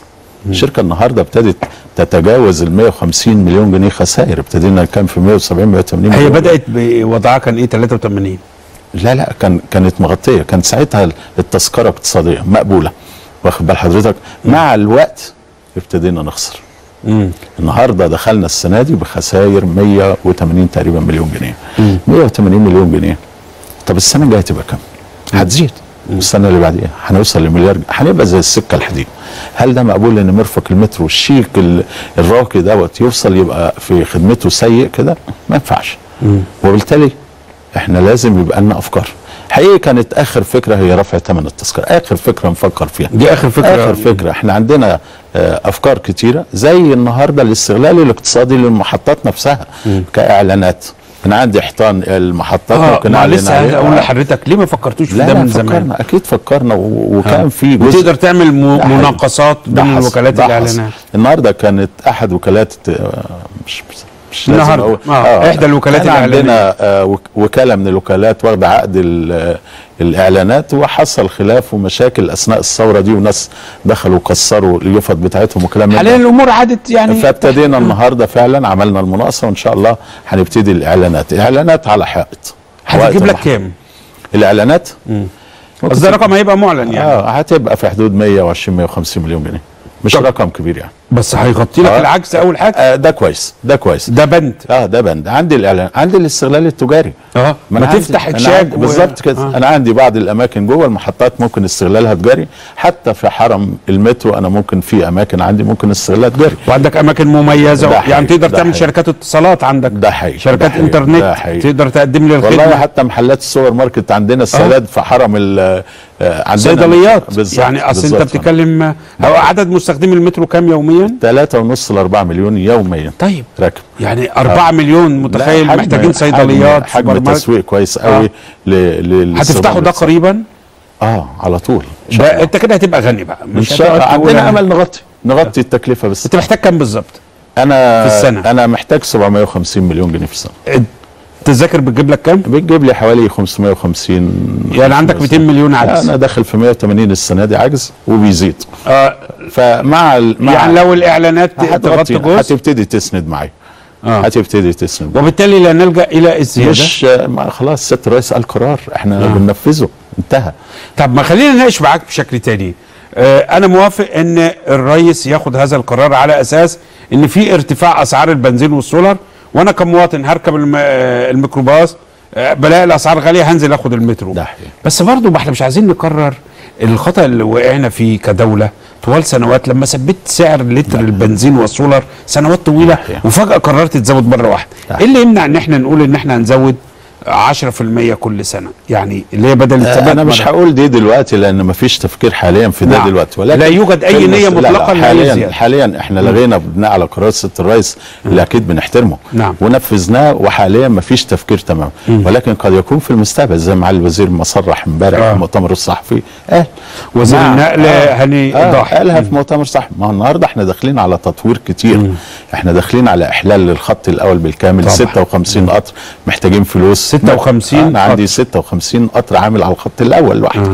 عندي مكن تذاكر 1500 مكنه تذاكر طبعا كلها بقت اولد فاشون قديمة جدا ملهاش قطع غير لازم نعمل لها. الإحلال والتجديد الخط الأول يكلف كام؟ كتير قوي. لما تتخيل حضرتك ال 56 قطر القطر الواحد بيتكلف 130 مليون جنيه. يا الله. آه القطر الواحد. فاضرب حضرتك 130 في 6 ده رقم صعب. رقم كتير آه، آه آه، رقم آه. عايز آه، مكنه آه، نحسبه. آه. آه حقيقة إحنا إحنا في 20 قطر نازلين إن شاء الله مع بداية السنة. قطر قطر مش 20 مرة واحدة. يعني العقد ب 20 قطر. بدايه يعني من تدريجي. يناير في أول قطر هيوصل وكل شهر بيوصل قطر. دولت داخ- داخلين على الخط الأول على طول. بناخد منهم 20 قطر من القدام. وبنع- وبنعيد رفع كفاءتهم كاملين. نرجعهم جداد زي ال- اللي دخل جديد. عشان. نقلل التكلفة بس. النهارده القطر ب 130 النهارده اما ارفع كفاءة قطر. هي مشكلة القطر الأولاني الخط الأولاني في التكييف والتهوية. دي المشكلة الرئيسية. حقيقي الحالة الفنية بتاعته مش وحشة. ما تقدرش تضيف له تكييف وتهوية؟ آه ده اللي أنا هنعمله. هنعمله ونجدده ونتدخل بالكامل. القطارات الجديدة القادمة جديد آه. آه فيها تكييف. آه طبعا. طبعا زي التالت. شوف حضرتك الخط التالت النهارده حاجة آه أحدث تكنولوجيا في العالم. آه زرت دول أجنبية. شفت أكيد. خطوط المترو الانفاق. هناك إزاي؟ ده حقيقي أنا زرت البرازيل وزرت كوريا وزرت فرنسا طبعا زرت هولندا زرت واتفرجت زرت دبي طبعا. آه ش- آه، من من الشرق للغرب اتفرجنا. صدقني محمد بيه إن إن إحنا يعني مش ح... في فرق نتفاخر- بينه وبينهم؟ نتفخر نتفق نتفاخر طب خلينا. نتفخر في بعض الخطوط. آه يمكن. الثالث بالذات الثالث لأنه أحدث الخطوط. أنا موافق إنك حقيقي. تتفخر بالتالت. والثاني برضه بس الأول صعب الأول فيه مثلا مع مترو لا لا أنا معاك. في الأول. أنا معاك في الأول. آه. أنا أعرف معاناه الناس فيها قوي يعني. وإن شاء الله هيبقى الأول زي الثالث ما كانش أحسن كمان. طيب. في بعض دول العالم آه، كمثال مثلا مترو أنفاق لندن. أنت ما بتاخدش التذكرة رايح مثلا من آه، مطار القاهرة لميدان التحرير وبترميها بعد ما تطلع. ده. بيقطع لك التذكرة مثلا لمدة 24 ساعة. بالظبط. هل إحنا عندنا عندنا الفكر ده إن شاء الله. آه عندنا- يعني ان أقطع آه، تذكرة آه، مدة طبعاً. يوم مدة أسبوع مدة شهر. ده حقيقي. يعني آه وبتبقى بأسعار آه، آه ما هو ده فكرة من أفكار الاشتراك أو الأبونية. ما هي الأبونية هو تذكرة. تذكرة بتستخدمها لمدة شهر أو ثلاث شهور كمان. فإحنا already بنستخدمه مش جديد علينا نعم. ولا حاجة. لا ده هو بتقطع ال ticket نفسه من غير الاشتراك آه يعني. لا يعني أنا عندي بيعمل اشتراك من المحطة من شباك التذاكر برضو. بيقعد معاه ثلاث شهور أو ست شهور هو كمان الاشتراك مسموح بيه لمين؟ لكل الطبقات. للعسكريين وللشرطة وللقضاة وللمدرسين وللطلبة وللعمال جميع وللصحفيين. من حق آه كله. كله. من حق حضرتك تقف تاخد اشتراك مخفض. لمدة ثلاث شهور أو ست شهور. تخفيض قد إيه؟ كام في المية تقريبا؟ أنا بعد التذاكر للطلبة بتوصل ل 40% 40 قرش للتذكره أنا موافق مع الطلبة. يعني آه، أكيد بندعمهم ما عندوش مصدر دخل بندعمهم يعني. أكيد. بندعمهم. إنما هو في المتوسط تتراوح من 50 ل 60 قرش. إيه أحدث أجيال في مجال مترو الأنفاق؟ يعني أحدث أجيال إحنا جبنا جيل النهارده اللي شغال في الخط الثالث ده أحدث حاجة ولا لا؟ في ما أنا هقول لحضرتك. هو حاليا حقيقي آه، السواق في القطر ما يسوقش. السواق ما قاعد قدامه زرارين اتنين يفتح ويقفل الباب بس. لا تحكم للسواق ما بيسوقش بمعنى ما بيسوقش. يا الله. آه ده اللي موجود عندنا في الخط الثالث. ده اللي موجود في دبي؟ آه آه موجود في دبي. آه. موجود في فرنسا موجود في بعض الدول الأوروبية النهارده. ما فيش سواق أصلا. آه، يمكن الكالتشر ده يخوف الجمهور عندنا. الثقافة. إنه يلاقي يلاقي القطر ماشي بدون سواق ما تعودناش دي. عشان كده إحنا ما جبناش النوع ده من القطر لسه. إنما النهارده أحدث تكنولوجيا في العالم القطر ماشي لوحده. أصل القطر ده التحكم بتاعه عندي أنا من مركز التحكم نعم. عندنا لكل قطر في الخط. إحنا حركته وتهدئته ووقوفه وقيامه حاليا. كله من عندنا من التحكم المركزي. آه. طب بمناسبة التحكم كيف نتحكم في سلوك المستهلك لمترو الأنفاق؟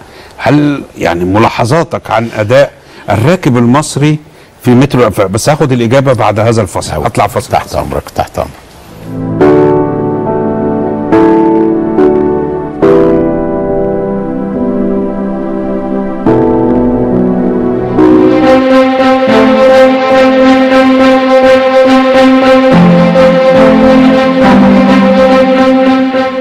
غرفة التحكم المركزي هي تعتبر هي ال ال ال التي تدير المترو بأكمله.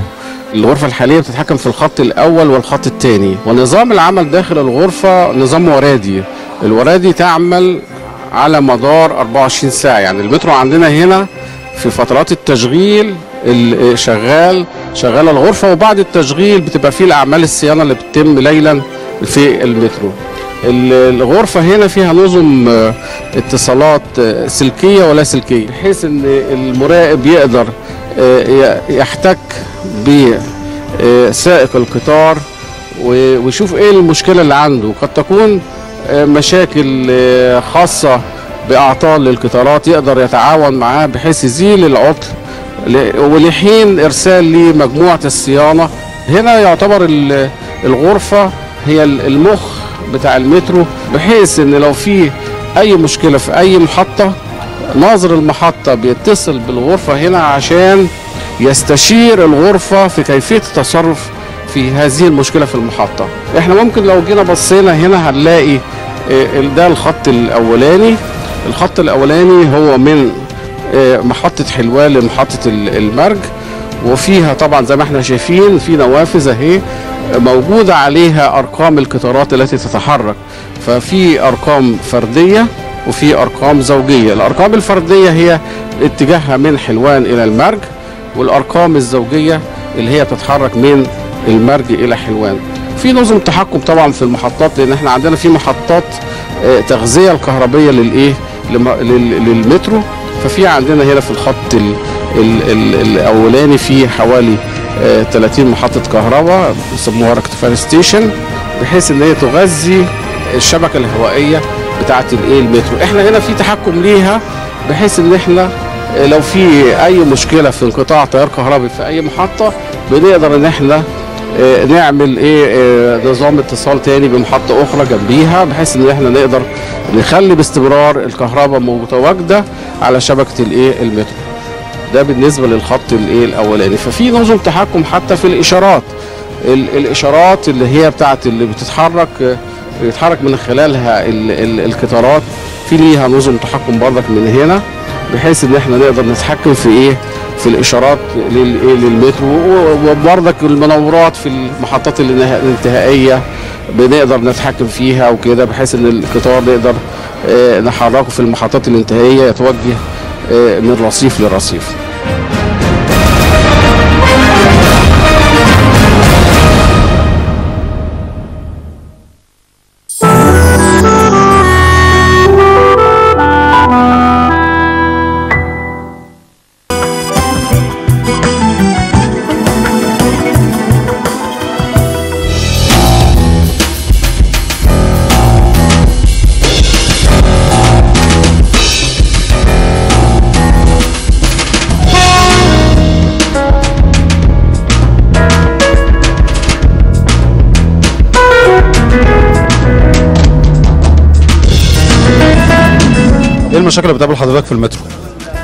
كذا مشكلة بصراحة بس اكبرهم يعني الباعة الجاهلين دولت آه، مالين المترو بطريقة يعني غير حضاريه خالص يعني كتير جدا جدا.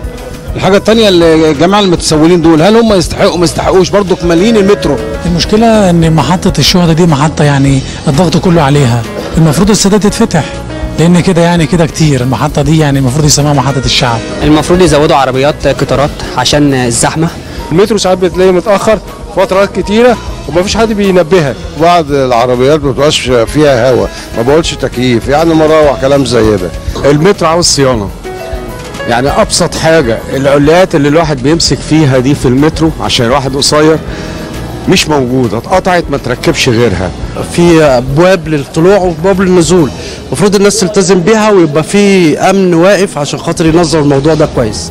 في مقاعد اللي هي مخصصة للمعوقين مفيش حد بينظم ال- الكلام ده مفيش إرشادات مفيش وعي عند الناس. يقول المترو احتمال التذكرة تغلى.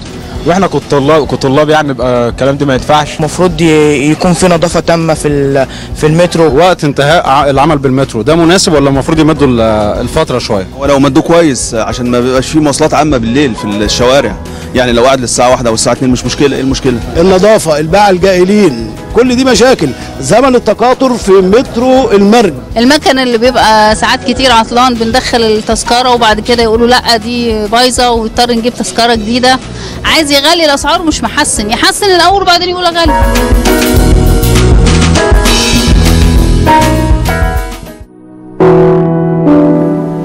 بجدد التحية بحضراتكم وحواري لسه متواصل مع اللواء إسماعيل النجدي رئيس الهيئة القومية للأنفاق. وحديثنا النهاردة متواصل حول مترو الأنفاق. قول لي سيادة اللواء لو ما كناش عملنا مترو الأنفاق وبدأنا فيه من سنة 83 كان حالنا يبقى إيه في القاهرة الكبرى؟ تتخيل حضرتك النهارده مع مترو الأنفاق اللي موجود وشغال النهارده؟ متوسط سرعة العربيات في القاهرة ووسطها بالذات بيصل ل 12 كيلو متر ساعة. طب لو من غير مترو؟ واستنينا ل 20 و25 ومع زيادة السكان من 16 ل 25 مليون نسمة آه تعداد القاهرة وزوارها. ستصل السرعه بدون مترو الأنفاق إلى صفر. صفر يعني العربيات واقفه يعني مفيش حركة مش هنعرف. عشان كده أنتوا بتجروا في آه،. مسألة الخطوط. لازم لازم. إحنا عايزين ننقل الناس ال 20 25 مليون اللي هيكونوا في سنة 25 تعداد القاهرة. عايزين ننقل منهم على الأقل 16 مليون تحت سطح الأرض. آه أنت النهارده بتنقل أربعة إحنا بننقل في حدود الأربعة. لما. نكمل الست خطوط هنصل لحدود ال 15 16 مليون. يتبقى 9 مليون يبقوا سهلين ننقلهم يبقى سهلين يتحركوا. العالمين طيب. خ- آه، بعض الملاحظات للسادة المواطنين اللي بيتعاملوا مع مترو الأنفاق. آه، عملتم إيه مثلا في مشكلة زي الباعة الجائلين زي المتسولين؟ هي كانت مشكلة زي ما واجهت القاهرة زي ما واجهت الجمهورية كلها في أيام الانفلات اللي فاتت. حقيقي بقى لنا شوية عين حمراء النهاردة وعيننا بتحمر شويتين مش شوية. يعني آه لازم هيمشوا؟ لازم لازم هيمشوا لازم. إحنا ابتدينا فعلا نمشيهم. إحنا م- آه، آه، ابتدينا الاتجاه ده. وإن شاء الله هيخلص الكلام ده قريب جدا. طيب فيما يتعلق بمترو الأنفاق هل في خطة إن بعض المحافظات اللي بتشهد تكدس أو بعض المدن يتعمل فيها مترو انفاق ده حقيقي يمكن ده كان توجيه من سيادة الرئيس لينا بقى لنا شهر وشوية شغالين فيه حاليا يعني في مدن ما- شديدة الازدحام. إحنا اسكندرية في تخطيط كامل اسكندرية، للمترو. طنطا. آه، حقيقي رحنا الغربية ورحنا المنصورة ورحنا الشرقية ورحنا المنوفية نعم. رحنا أسيوط في الجنوب وما زلنا شغالين بنعمل دراسات متكاملة على جميع المحافظات عشان ندي أسبقيات ندخل فين الأول شيشني كده آه أول محافظة دراسات؟ اسكندرية اسكندرية اللي عليها لأنها العاصمة الثانية العاصمة التانية. التكدس فيها آه عالي عالي صراحة لو في بداية تفكير يبقى إمتى؟ آه هو تمويل, تمويل. بأمانة يعني المشكلة تمويل. يتوفر التمويل آه، فورا نشتغل في اسكندرية. نشتغل فورا. آه. وإحنا عارضين مترو اسكندرية على مستثمرين إن هم ممكن يدخلوا معانا. على بعض الدول ممكن يدخلوا معانا. إذا حصلت الموافقات على تبدأوا فورا؟ هنبتدي. هو تمويل. مم. تمويل. آه اسيوط من العواصم اللي إحنا عايزين ندخلها فعلا لأن في مشكلة زحمة. عندنا طنطا طبعا. طنطا فيها مشكلة مع الطريق السريع. نعم. إن الطريق السريع يعتبر جزء من من طنطا. مدينة طنطا. فعايزين نفك الاشتباك ده. الانفاق تحل مش جوه القاهرة كمان. الأنفاق البرية زي نفق الأزهر مش لازم يبقى مترو أنفاق. يعني النهارده عندنا مشكلة التكدس بتاعه الطريق الأوتوستراد. نعم. لو حضرتك من عند المنصة شوف تقاطعات مدينة نصر عاملة إزاي من شارع يوسف عباس لشارع الطيران لشارع عباس العقاد لمكرم عبيد حتى الوصول لطريق ده. ممكن ما يتعملش نفق يتعمل. نفق نفق. نفق. وعربيات تنزل من تحت وكل تقاطع تبقى تتوزع عليه ونسيب السطح لانسياب الحركة فيه. أنتوا كهيئه بتدرسوا انكم تخففوا الاختناقات؟ وبنتعاون فيه مع المحافظة حقيقة. وعندنا أكثر من مقترح لمناطق اختناقات كتيرة. الأنفاق النهارده هتحل كتير قوي. قوي. طيب خليني اخد حضرتك لجزء مهم يتعلق بمحطة السادات. اللي مغلقه بقى لها فترة طويلة. آه، فترة طويلة. آه، إلى أين انتهيتم؟ هي آه، طبعا كل الناس عرفت إن إن محطة السادات مقفولة بسبب الأمن حقيقي هو نعم. اللي قافلها حاليا إحنا بننسق مع الأمن وهناك اتجاه إن نلحق قبل بداية الدراسة تتفتح. 20 سبتمبر عندنا امل آه، عندنا إنكم تلحقوا نلحق نفتحها لأنها محطة مهمة جدا هتخف. كتير على آه، الشهداء لأن الشهداء بقى التكدس فيها غير طبيعي النهارده خسرتكم هذه المحطة آه طبعا طبعا عندك. تقدير؟ محطة عطلانة آه. آه. النهارده محطة زي دي في الخط الأول اللي آه. عليه تكدس آه. فوق ال 2 مليون نسمه بيركبوه النهارده آه بتخسرني مش أقل مثلا من 20 30 مليون جنيه كل سنة كل سنة. محطة لو حسبتها الخط الأول آه، المرج حلوان بيستوعب 50% من مستخدمي المترو آه أكتر أكتر أكتر كمان. لأنه أطول خط 44, 44 كيلو, كيلو. 44 كيلو في فوق ال 2 مليون نسمه بيركبوه يوميا اذا خلال أيام من الممكن أن يتم آه، إعادة فتح الله، آه، السادات. الرئيسية يعني. وده بيتم بالتنسيق ما بين الجهاز وما بين آه، وزارة الداخلية. ده حقيقي طيب تعال بقى نروح لأهالي الزمالك أيوة. الكرام. هم شايفين إن وجود هذه المحطة آه، محطة مترو في الزمالك هيغير طبيعة الحي. ده وجهة النظر. ده. وبيقولوا إن في أحياء اتعمل فيها محطة مترو أنفاق والدنيا باظت زي الدقي مثلا. يعني آه، حي الزمالك له خصوصية أيضا في سفارات هيئات فنادق وعلية القوم آه، يقطنون الزمالك. ربما علشان كده صوتهم أعلى. يعني عملتوا إيه؟ هتعملوا إيه؟ من الآخر أيضا هيبقى في مترو أنفاق في الزمالك ولا مش هيبقى فيه؟ خليني أوضح المشكلة هم أهل الزمالك طلباتهم على رأسنا وأنا على اتصال مستمر بيهم لحد دلوقتي أنا قعدت معاهم ثمان قعدات مجتمعية جوه حي الزمالك في ندى ابو الفدا وساقية الصاوي نعم. آه بيقطعوا هدومي بي آه. بيعملوا فيا سمعت ده مناوشات. حقيقي. ولكن ولكن تعالى نناقش الموضوع وأنا قلت الكلام ده نعم. بشكل علمي نعم اولا من حيث تعداد حي الزمالك يسكنه 23 ألف نسمة نعم المتردد على الزمالك يوميا 130 ألف نسمة. 130 عندي؟ خمس كليات عندي 8 9 مدارس ثانوي وإعدادي عندي 14 سفارة عندي محلات عندي مترددين على البيوت نفسها كشغالين وسواقين وخلافه.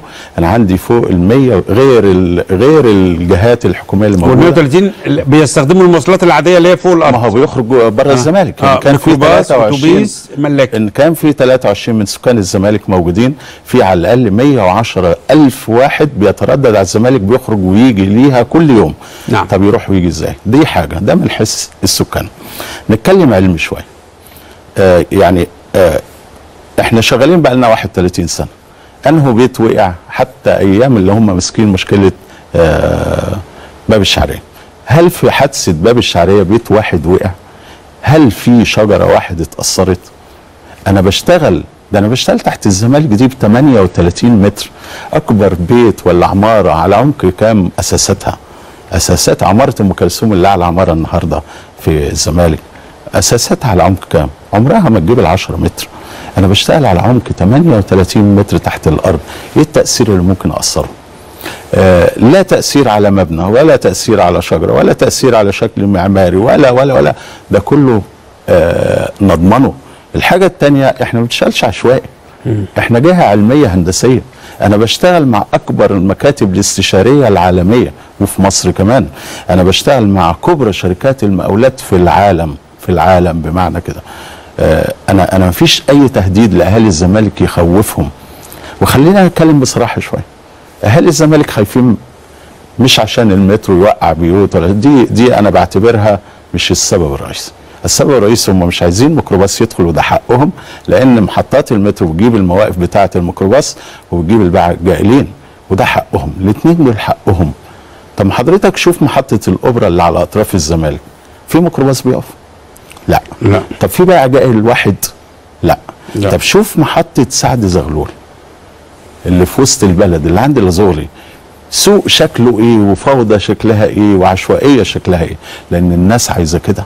الناس لما تكون عايزة هتلاقي السوق وهتلاقي الباعة الجالين وهتلاقي الميكروباص والناس مش عايزة مش هتلاقيه. الباقي الجاي الجاي عشان اللي هيشتري منه وياخد ويدي معاه. بتوع الزمالك مش هيعملوا كده. الميكروباص ما حدش هيركب معاه. أنا الشغالة ولا السواق ولا الطالب اللي في كلية هو محتاج محطة المترو. حتى الأجانب اللي في الزمالك محتاج محطة المترو عشان يروح أو يروح ويجي مشاويره. إنما مش هيركب ميكروباص. الميكروباص النهاردة أقل أجرة ب 2 3 جنيه. أنا تذكرتي بجنيه. أنا عمري ما واحد بيتردد على الزمالك هيستعمل ميكروباص. يعني هذه المحطة آه، آه، ضرورية. هي- ضرورية. آه. أكيد ضرورية. هي في مكان يعني لا يمكن تجاهل آه، آه، يعني صعب. وإحنا قعدنا وقلنا النهارده المرحلة دي هي المرحلة الثالثة من الخط الثالث جاية من العتبة على مسبيرو ولازم تعدي الزمالك عشان تروح الكتكات ومبابة. اللي إحنا آه يعني في ادعاءات كتيره طب ما نمشي سطحي طب ما نمشي علوي ما هو أسهل لي أمشي سطحي السطح تكلفته أقل كتير والعلوي أغلى شوية من السطح أغلى لي أنا النهارده النفق وأنا مضطر إن أنا أعمل النفق ليه بقى. مضطر ليه ما تعملش سطح أو فين السطح اللي هعمله في الزمالك؟ هعمله فين. وشوارعها ضيقة أنا شوارع الزمالك ضيقة طب عفوا هيبقى محطة واحدة؟ آه محطة واحدة جوه الزمالك. في وللعلم شارع حضرتك- 26 يوليو؟ آه لعلم حضرتك المحطة ديت في إسماعيل محمد على حدود السفارة الأسبانية. مم. السفارة الأسبانية خاطبنا الحكومة الأسبانية وخاطبنا الخارجية الأسبانية وخاطبنا السفارة الأسبانية والثلاثة وافقونا إن إحنا نعمل المحطة على سورهم الأجانب عايزين المحطة. الأجانب اللي في الزمالك كلهم عايزين المحطة ولم يعترض واحد. الاتحاد الأوروبي عشان يدينا القرض بنك الاستثمار الأوروبي لازم نعمل دراسات مجتمعية. هم اشتكوا في الاتحاد الأوروبي. اشتكوا في الدي... في الأمم المتحدة. اشتكوا. وحتى أنا م- مشتكيني للنائب العام ومشتكينا في عند ال... طب النائب العام هي كلنا في مصر. إنما فكرة لا في الشكوى. بره بره لا هم ما اشتكوش كتير في مصر قد ما اشتكوا كتير بره بره النهارده بيخاطب الاتحاد الأوروبي عشان يوقف القرض اللي جاي عشان اهالي الكتكات ومبابه هل ده مقبول؟ هل ده مقبول إن إحنا آه، نتصرف بالشكل ده؟ هل مقبول إن هم ده يسن قاعدة. يقول لك الشاطر يدخل وإحنا هنكسر رجل يجي وهنحفر له مقبرته هنا. هل ده مقبول؟ أنا بمثل دولة أنا ما بمثلش شخصي. أنا بمثل دولة وسيادة الدولة وده مشروع نفع عام. ما ينفعش تبقى الخطابة واللغة بيننا كده إحنا مش قسمين. أنا راجل بدور على صالح عام. أنا بدور على صالح عام. يوصمونا بالفساد ويوصمونا بال بالمال العام والتسيب فيه يوصمونا بالعشوائية. طب هل يمكن الوصول إلى يمكن آه، قبوله يعني. حلول وسط؟ بمعنى واحد لا تكون إلا محطة واحدة فقط؟ هو دي حقيقة. مخرجها هيبقى على السفارة الإسبانية؟ هو دي حقيقة. هو هو فعلا ال- المحطة تخطيطها كده. إحنا ريحناهم وقلنا لهم مش هنفتح المحطة دلوقتي خالص. راحوا متهمينا امال يعني هتعملوها ليه؟ تكلف محطة مليار هي ما بتكلفش لا مليار ولا بتاع. تكلف الخط. انت قصدي حضرتك تحفرها وال مين قال حضرتك؟ آه وما نروحش. الزمالك نروح المحطة اللي بعدين. مين قال إن أهالي الزمالك بعد 10 سنين و20 سنة أجيالهم اللي جاية ما تكونش محتاجة محطة؟ أنا لو ما عملتش حساب المحطة النهارده مش هعرف أعملها بعد كده. ده اللي لازم يفهموه. آه يعني حضرتك عايز تحفر وتعمل المحطة. مش هتشغلها بس على الأقل لازم اتفقت عشان تكمل. طريقك. ما أعرفش رجعوا يهاجمونا تاني ليه؟ يعني أنا أنا قلت لهم هنعمل محطة وهنقفل مش هشطبها. رفعت المشكلة لحد فين؟ لحد الحكومة. ما الحكومة عايشة الموضوع معايا أكيد. الحكومة عايشة الموضوع. مش للرئيس مثلا فياخد قرار؟ ما وصلناش لمستوى الرئيس لأنه قرار رئيس الحكومة. الحكومة متضامن آه. معاكم؟ حقيقة. هو الفكرة اللي إحنا بنقولها موافقين عليها. مفيش فيها مشكلة. المشكلة أشخاص ولا أهالي الزمالك فيهم جزء موافق بس هم بيتخانقوا مع أنا قعدت في سيد الصول يوم الجمعة اللي قبل اللي فاتت دي مسكوا في خناق بعض. أنا قعدت عشان أسمع الجانب الموافق والجانب المعارض ون- ونشوف الدنيا تمشي إزاي. هم نفسهم قاموا ضربوا في بعض واتخانقوا. لكن اضطريت إن أنا انسحب من القعدة الدولة. أو الحكومة عازمة على استكمال الخط لازم يمشي محمد. هي- هيبدأ إمتى الحفر المفروض؟ الحفر؟ آه. مع المرحلة الثالثة ممكن نبتدي في مارس الجاي مارس القادم. مارس مم. الجاي إن شاء الله. لا نقاش في هذا حتى تستكمل. والحل الوسط هو أنك ما تشغلهاش دلوقتي. ده حقيقي وده اللي أنا وعدناهم بيه. وده اللي وعدناهم بيه. لما تحتاجوا المحطة هنعملها. إنما ما ينفعش نتجاهلها في التصميم دلوقتي نعم، والتنفيذ. نعم، لأنك مش لو هترجع تاني النفق اولا هيمشي من مسبيرو عشان يعدي النيل ويوصل الكتكات يمكن هيدخل له في 2.5 3 كيلو بدون فتح التهوية وبدون ما ينفعش. اهول النفق ده منين؟ أغذي النفق كهرباء منين؟ ما ينفعش. فإذا ضرورة. فلازم ضرورة التصميم كده. ومنطق حضرتك أيضا إن أنا كأب قد أرفض اليوم وابني ممكن يحتاج المترو غدا. فأنا مش وأيضا ربما سكان الزمالك نفسهم يغيروا رأيهم. يغير رايهم أو. يذهبوا إلى التجمع أكتوبر. طيب. في آخر ما تبقى من حوار الممتع مع حضرتك عايز أتكلم على أنفاق قناة السويس الجديدة. آه، إحنا عندنا في قناة السويس أنا كنت في لقاء مع سيادة الرئيس من أسبوعين بالظبط وحقيقي كان توجيه واضح جدا في ثلاث حاجات ثلاث نقط. اولا إحنا لازم نمصر مشروعات الأنفاق كلها. نعم. كلها حتى المترو حتى أنفاق قناة السويس. قناة السويس أنفاقها هنعملها بكيانات مصرية كاملة. وفعلا تكون consortium ما بين شركة المقاولين العرب وأوراسكوم للإنشاءات وهم دول شالوا فعلا مسؤولية أنفاق بورسعيد. نفس الحكاية عندنا ثلاث أنفاق بورسعيد اثنين سيارات واحد سكة حديد وفي زيهم ثلاثة في آه، إسماعيلية اثنين سيارات واحد سكة حديد وفي اثنين طالعين في السويس إن شاء الله جنب أحمد حمدي. إجمالي عدد الأنفاق المطلوبة لقناة السويس الجديدة؟ إحنا حتى الآن بنتكلم في ثمانية ثلاثة في بورسعيد ثلاثة في إسماعيلية واثنين في السويس بإجمالي ثمانية عند حضرتك تقدير للتكلفة؟ آه. كم؟ نفق السيارات بيتكلف في حدود 2 مليار جنيه النفقين يبقى 4 مليار نفق السكة الحديد بياخد 3 مليار جنيه يبقى 7 مليار جنيه لأنفاق بورسعيد. وزيهم في إسماعيلية. 14 مليار. آه، يتم إنجازهم في خلال قد إيه؟ سنتين. سنتين. سنتين. سيادة الرئيس كلمنا في التمصير كلمنا في الفترة الوقت. الزمنية ضغط الوقت. ضغط الوقت الأقل من 50% حقيقي هتبداوا إمتى؟ إحنا ابتدينا. ابتدينا. تحويل مرافق وابتدينا استلام الأرض ونزع ملكيات وابتدينا حركة. ظروف العمل عاملة إيه؟ لا والله لسه ما ابتديناش حفر. إنما إحنا بننزع ملكيات وبنحول مرافق النهارده. مم. حتى في المترو إحنا ابتدينا تحويل مرافق لأن ده بياخد وقت معانا برضه. ف- طيب كلمني عن آه، القطار المكهرب أو القطار الكهربائي. وانتوا ناويين تدخلوه في الخدمة قريبا؟ حقيقي، ده حقيقي. آه، فين؟ يربط فين لفين؟ هو حقيقة عندنا الخط الثالث اللي شرحته لحضرتك المرحلة الرابعة منه اللي هي جاية من مصر الجديدة وهتنتهي عند محطة عدلي منصور اللي هي مدخل مدينة السلام أو بيسموها موقف العاشر النهاردة اللي على طريق إسماعيلية. وعندي على طريق السويس قلت لحضرتك برضو إن المرحلة الثانية بتاع الخط الرابع الياباني هتنتهي على طريق السويس قبل مدينة الرحاب بشوية. أنا عندي محطتين مترو واحدة على طريق إسماعيلية واحدة على طريق السويس اطلع على طريق إسماعيلية من محطة عدلي منصور وصولا إلى الطريق الدايري الإقليمي الثاني الجديد اللي شغال دلوقتي ونقفل اللوب على طريق إسماعيلية هنلاقي العاصمة الحكومية الجديدة.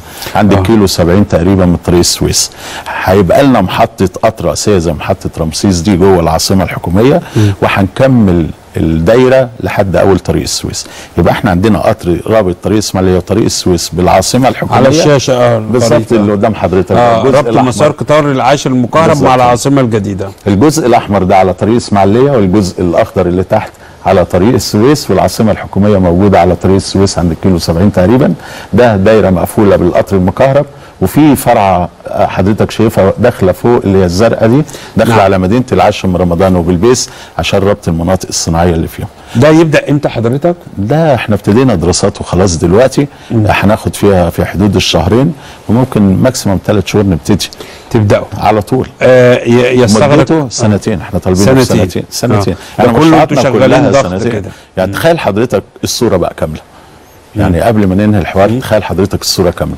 ثلاث مراحل مترو شغالين هيربطونا بأكتوبر بالتجمع بمدينة السلام برود الفرج عند الدلو وهطلع على القطار المكهرب لو عايز القطار الكهربائي آه نشتغل رحت للعاشر كده. ده حقيقي وصلنا للعاشر وبلبيس والعاصمة الحكومية.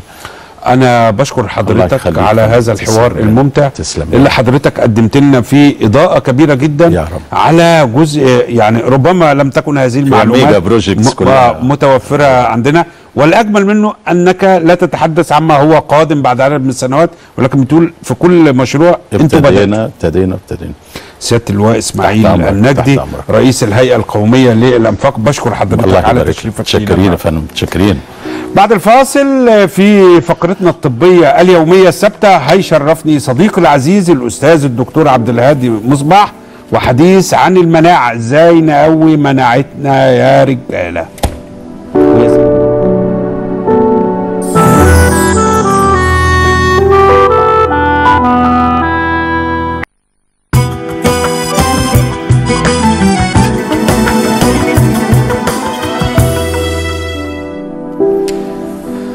بجد التحية بحضراتكم وجينا لفقرتنا الثابتة اليومية الفقرة الطبية اللي بيشرفني فيها النهاردة الصديق العزيز الأستاذ الدكتور عبد الهادي مصباح أستاذ أمراض المناعة. والتليفونات كالعادة مفتوحة أمام حضراتكم للتواصل مع ضيفي العزيز. أهلا بحضرتك. أهلا أستاذ محمد. خلينا الأول تقول لنا إيه جهاز المناعة ده ودوره إيه وهو مهم للدرجة دي وإزاي أحافظ عليه؟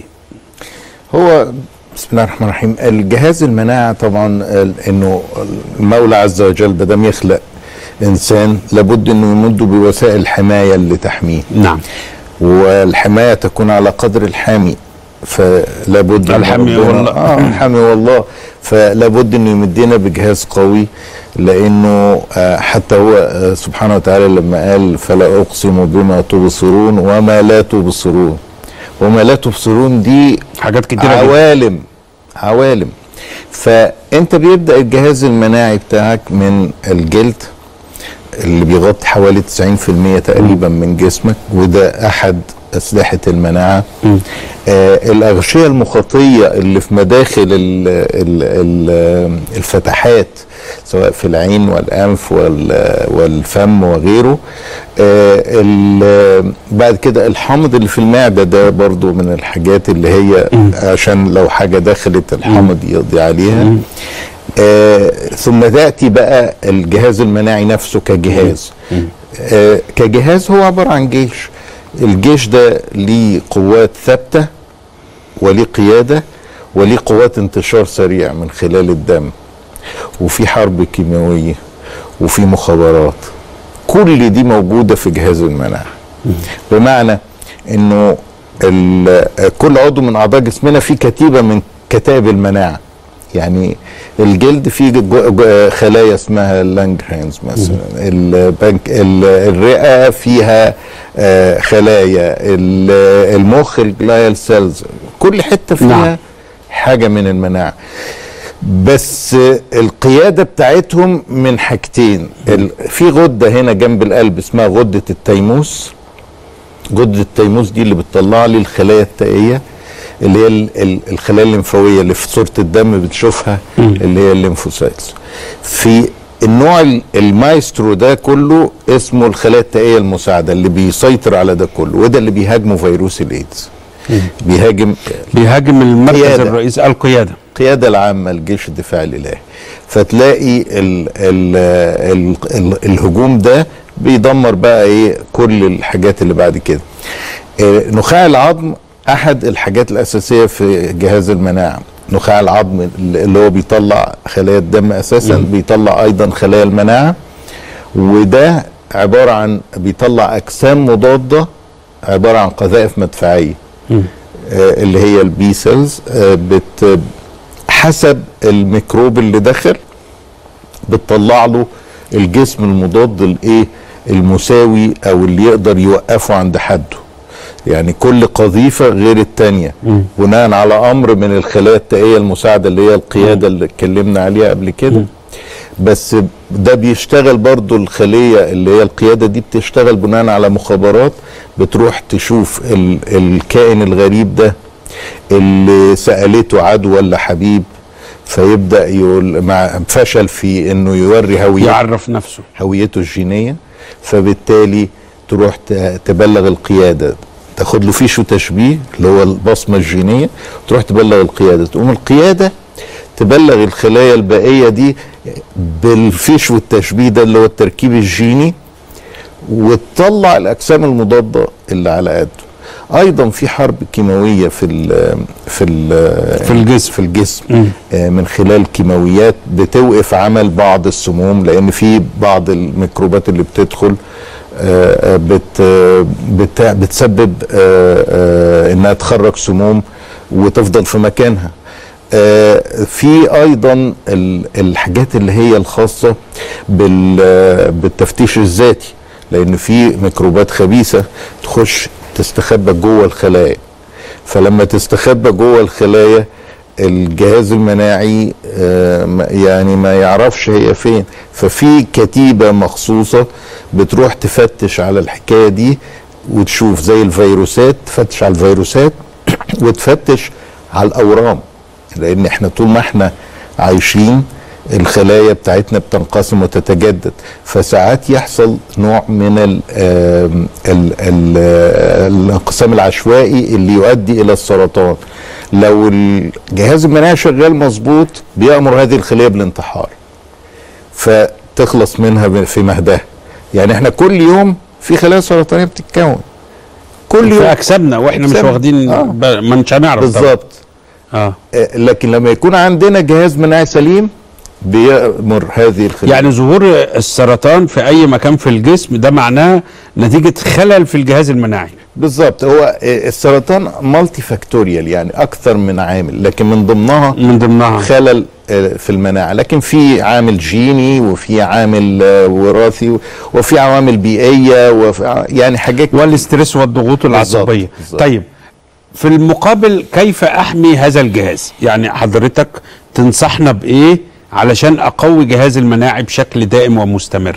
وإيه هي المحاذير؟ يعني أنا آخد إيه أحرص على إيه وأيضا أحذر من إيه. هو الجهاز المناعي نمرة واحد متصل اتصال وثيق جدا بالجهاز العصبي المركزي.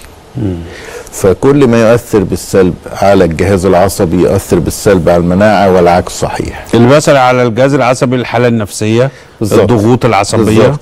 آه، الضغوط مش مبسوط في شغلك قرفان ما فيش فلوس ما فيش ده على طول. بيأثر على الجهاز على طول المناعي يأثر في حالة إنه لو ما كانش فيه ما يسمى بال mature coping mechanism اللي هو تكيف ناضج مع الانفعال اللي هو الإيمان الرضا. ال- التصالح مع النفس. انك انت عندك آه، آه، مشكلة لازم تعرف إزاي تتعامل معاها لأنه ال ال ال التعامل غير الناضج مع المشكلة بيخلق آه، توتر على عدة مستويات. يعني يعني مستوى ال- المعرفي والمستوى الانفعالي والمستوى السلوكي والمستوى الصحي آه، الجسدي. حضرتك بسميه ده اللي هو آه، آه، التوازن الانفعالي أو ضبط الانفعال؟ بالظبط بالظبط كده. ودي نقطة مهمة جدا إنك إزاي تعرف تخرج ال ال ال الضغط البخار اللي موجود في الحلة البريستو اللي جواك ده اللي أنت طول النهار بت بتكتمه. أو إنك أنت ما بتاخدش ال- الفترة الكافية إنك أنت تخرجه بشكل صحي من خلال الرياضة والتأمل و والحاجات دي كلها. يبقى الجهاز المناعي مرتبط بالجهاز العصبي المركزي. دي نقطة مهمة. فما يؤثر على الجهاز العصبي يؤثر على الجهاز المناعي. بالظبط. طيب. آه آه نفس الوضع بالنسبة للضحك. الضحك عنصر مهم جدا آه لتقوية المناعة. يعني لابد إنك تاخد جرعة يومية من الضحك. ده أنا فكرتك هتقول لي أكل. لا لا لحد. دلوقتي ما دخلتش على الأكل. لا إحنا هنقول الأكل بس هي النقطة بتاعت المرح لأن الناس اصلها آه، آه، الناس مكبوتة بقى ثلاث سنين. آه عندها اكتئاب عندها آه ميل لل- للحزن نعم. عندها ميل لأن هي تصدق الأخبار الوحشة. وطبعا في ما يبرر ذلك. لكن أنا عايز أقول إنه إنه الواحد ما بيدورش على الدواء إلا لما بيكون عيان. فلازم تدور على الضحك ما تقوليش هو في ضحك هو الواحد ليه نفس. اتفرج على فيلم كوميدي ولا بالظبط. حاجة. أنا آه. يعني أنا أبسط بعمل- حاجة يعني. أنا بعمل كده. أنا أجيب مثلا أي حد من الناس كلنا ه- هذا الشخص. بس اسمح لي آخد أول اتصال تليفوني. فاتن من حلوان اتفضلي. ألو؟ أيوه. آه، إزيك يا أستاذ محمد؟ أهلا بيكي. آه، أنا عايز اكلم الدكتور. اتفضلي. آه، دكتور أنا عندي سؤالين. السؤال الأول آه، دلوقتي انتشر كتير قوي لما تسأل أي دكتور يقول لك أنا هديك أدوية للمناعة. فأنا عايز أعرف إيه أدوية المناعة اللي إحنا ممكن ناخدها ديت دي أول حاجة مم. الحاجة الثانية إيه علاقة ال- الزعل أو الاكتئاب آه، بالمناعة يعني طول الوقت بيقولوا إن المناعة بتقع لما الواحد يبقى زعلان ده سؤال مه... سؤالين مهمين جدا يا فاتن يعني حاضر. آه في أدوية فعلا الواحد ممكن آه الحقيقة لو الواحد ال- ال lifestyle أو أسلوب الحياة بتاعه مظبوط مش هيحتاج دواء. لكن ما فيش ما يمنع إن الواحد ياخد حاجات من مضادات الأكسدة آه بالإضافة إلى آه يعني زي فيتامين A فيتامين آه ه أو E وفيتامين آه C والزنك والسيلينيوم وال coenzyme آه، Q 10 كل الحاجات دي من الحاجات اللي هي بتتحسن المناعة بس الواحد ياخدها بحساب. أو تحت اشراف طبيب. وتحت اشراف طبيب لأن في بعض منها بيتخزن تحت الجلد وممكن يسبب نوع من التسمم. فيبقى دي آه، حكاية أدوية المناعة. هي في بعضها اللي هو التطعيمات زي مثلا إحنا الشهر الجاي بنقول طعموا ضد الإنفلونزا. نعم. نبدأ من الشهر الجاي. وفي نفس الوقت ال ال في بعض الحاجات تطعيم ضد بكتيريا معينة بتصيب الأطفال. هو التطعيم ده تنبيه للجهاز المناعي؟ برافو. نعم. يعني انت بت بت بتدي ال- الجزيء اللي بينشط الجهاز المناعي. نعم. علشان يطلع آه، جنود تبقى على الحدود مستعدة. مش لسه تشتغل وتاخد دورتها ودورة تدريبية لا. هي طيب سؤالها التاني كان بيتكلم عن الاكتئاب وعلاقته بالجهاز آه. طبعا الاكتئاب الاكتئاب عنصر مهم جدا يعني أنت عندك نسبة ال- الناس اللي مصابين بال- بالاكتئاب هي أكتر نسبة بتزيد فيها الأورام السرطانية. نعم. وبالتالي مهم قوي علاج الاكتئاب يعني ما نستهترش بكلمة اكتئاب لأن ده آه، ممكن يؤثر على الصحه المناعة. الجسدية وجهاز المناعة من خلال الموصلات العصبية وهرمونات الهدم اللي بتطلع والتأثير على عمل خلايا المناعة نفسها. هشام من القاهرة. أستاذ هشام. أيوه. السلام أيوه عليكم. سلام ورحمة الله. من فضلك أنا كنت بس عايز أسأل الدكتور سؤال. اتفضل. اتفضل. آه والله الدكتور آه حضرتك إحنا كان زوجتي آه كانت آه مع دكتور أمراض نساء أيوه. آه هي عندها نسبة اجسام مضادة. أيوه. فهو حضرتك دوت وما يعني بتخلفوش؟ قال لنا قال لنا دوت من من نقص مناعة. أنتوا ما بتخل... يعني مشكلة خلف أو أو إنجاب؟ آه يا فندم آه أوكي. حاضر. هجاوب حضرتك.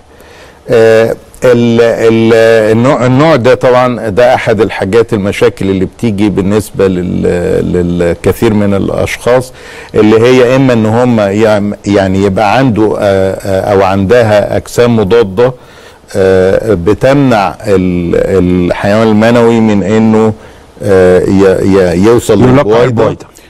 أو إن هو بيهاجم الحيوان المنوي أو الحيوان المنوي. نفس يعني ايا كان عند اي ده نشاط زائد من الجهاز المناعي؟ بالظبط كده. يعني هي النقطة إيه؟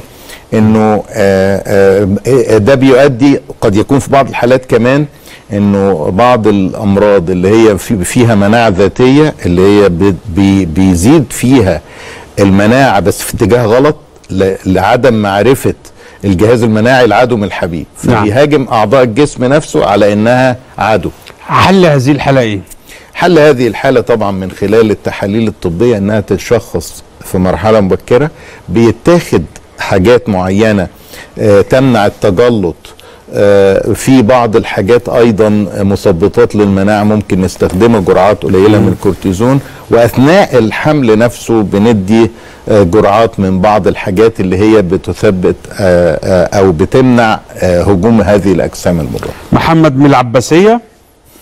أستاذ خير. اتفضل حبيبي. كنت عايز أسأل بس هو المضاد الحيوي بيأثر على المناعة لو ما تاخدش الجرعه كاملة ولا لو اتخذت الجرعه بزيادة عن اللزوم؟ آه ده سؤال كويس.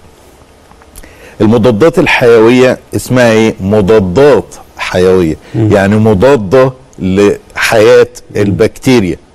وفي نفس الوقت هي مضادة لحاجات في جوه البني آدم. فإذا ما كانتش فايدتها أكتر من ضررها يبقى مفيش داعي إن أنا آخدها. إمتى بقى تبقى فايدتها أكتر من ضررها؟ لما طبيب يعني آه، آه، محترم أو خبير يكتبها لل- للأشخاص اللي هم محتاجينها بشرط إن الشخص ياخد ال- المضاد الحيوي في موعده وياخده لمده لمدة لا تقل عن اللي المفروض ياخدها. مش يتحسن بعد يومين يبطل لأنه بعد كده اتخلق حاجة اسمها السوبر بكتيريا اللي هي ما بيحوقش فيها أي من هذه المضادات الحيوية. فيجي له التهاب رئه وبعد كده يعمل عملية قلب مفتوح. يبقى لازم يكمل الكورس. بالظبط. حسين من القاهرة وبعدين ثابت من القاهرة. اتفضل يا أستاذ حسين. السلام عليكم يا فندم. السلام ورحمة الله. الله وبركاته. آه، من فضلك أنا عندي ابني عنده حوالي 30 سنة. اتفضل. آه، جاله يعني حرارة كده وتعب في صدره وقالوا أنت عندك تركيدوز sarcoidosis آه. آه وقعد ياخد كورتيزون كورتيزون بقاله دخل دلوقتي دخل على سنتين وشوية. مم. يوم فوجئنا برضو إن الحرارة تاني بتطلع ما بتنزلش. Okay. آه، وقالوا له أنت عندك المناعة ضعيفة. مم. يعني حضرتك إحنا داخلين في متاهة مش عارفين. يعني قرفنا مش عارفين. حاضر، حضرتك. تطلع وتنزل حتى. حاضر يا أستاذ حسين. شوف يا أستاذ حسين ال- آه، مرض ال sarcoidosis آه، هو مرض آه، بي- بيحصل فيه نوع من ال ال الورم اللي زي ورم بتاع ال- ال- ال tuberculosis اللي هو ال- الدرن.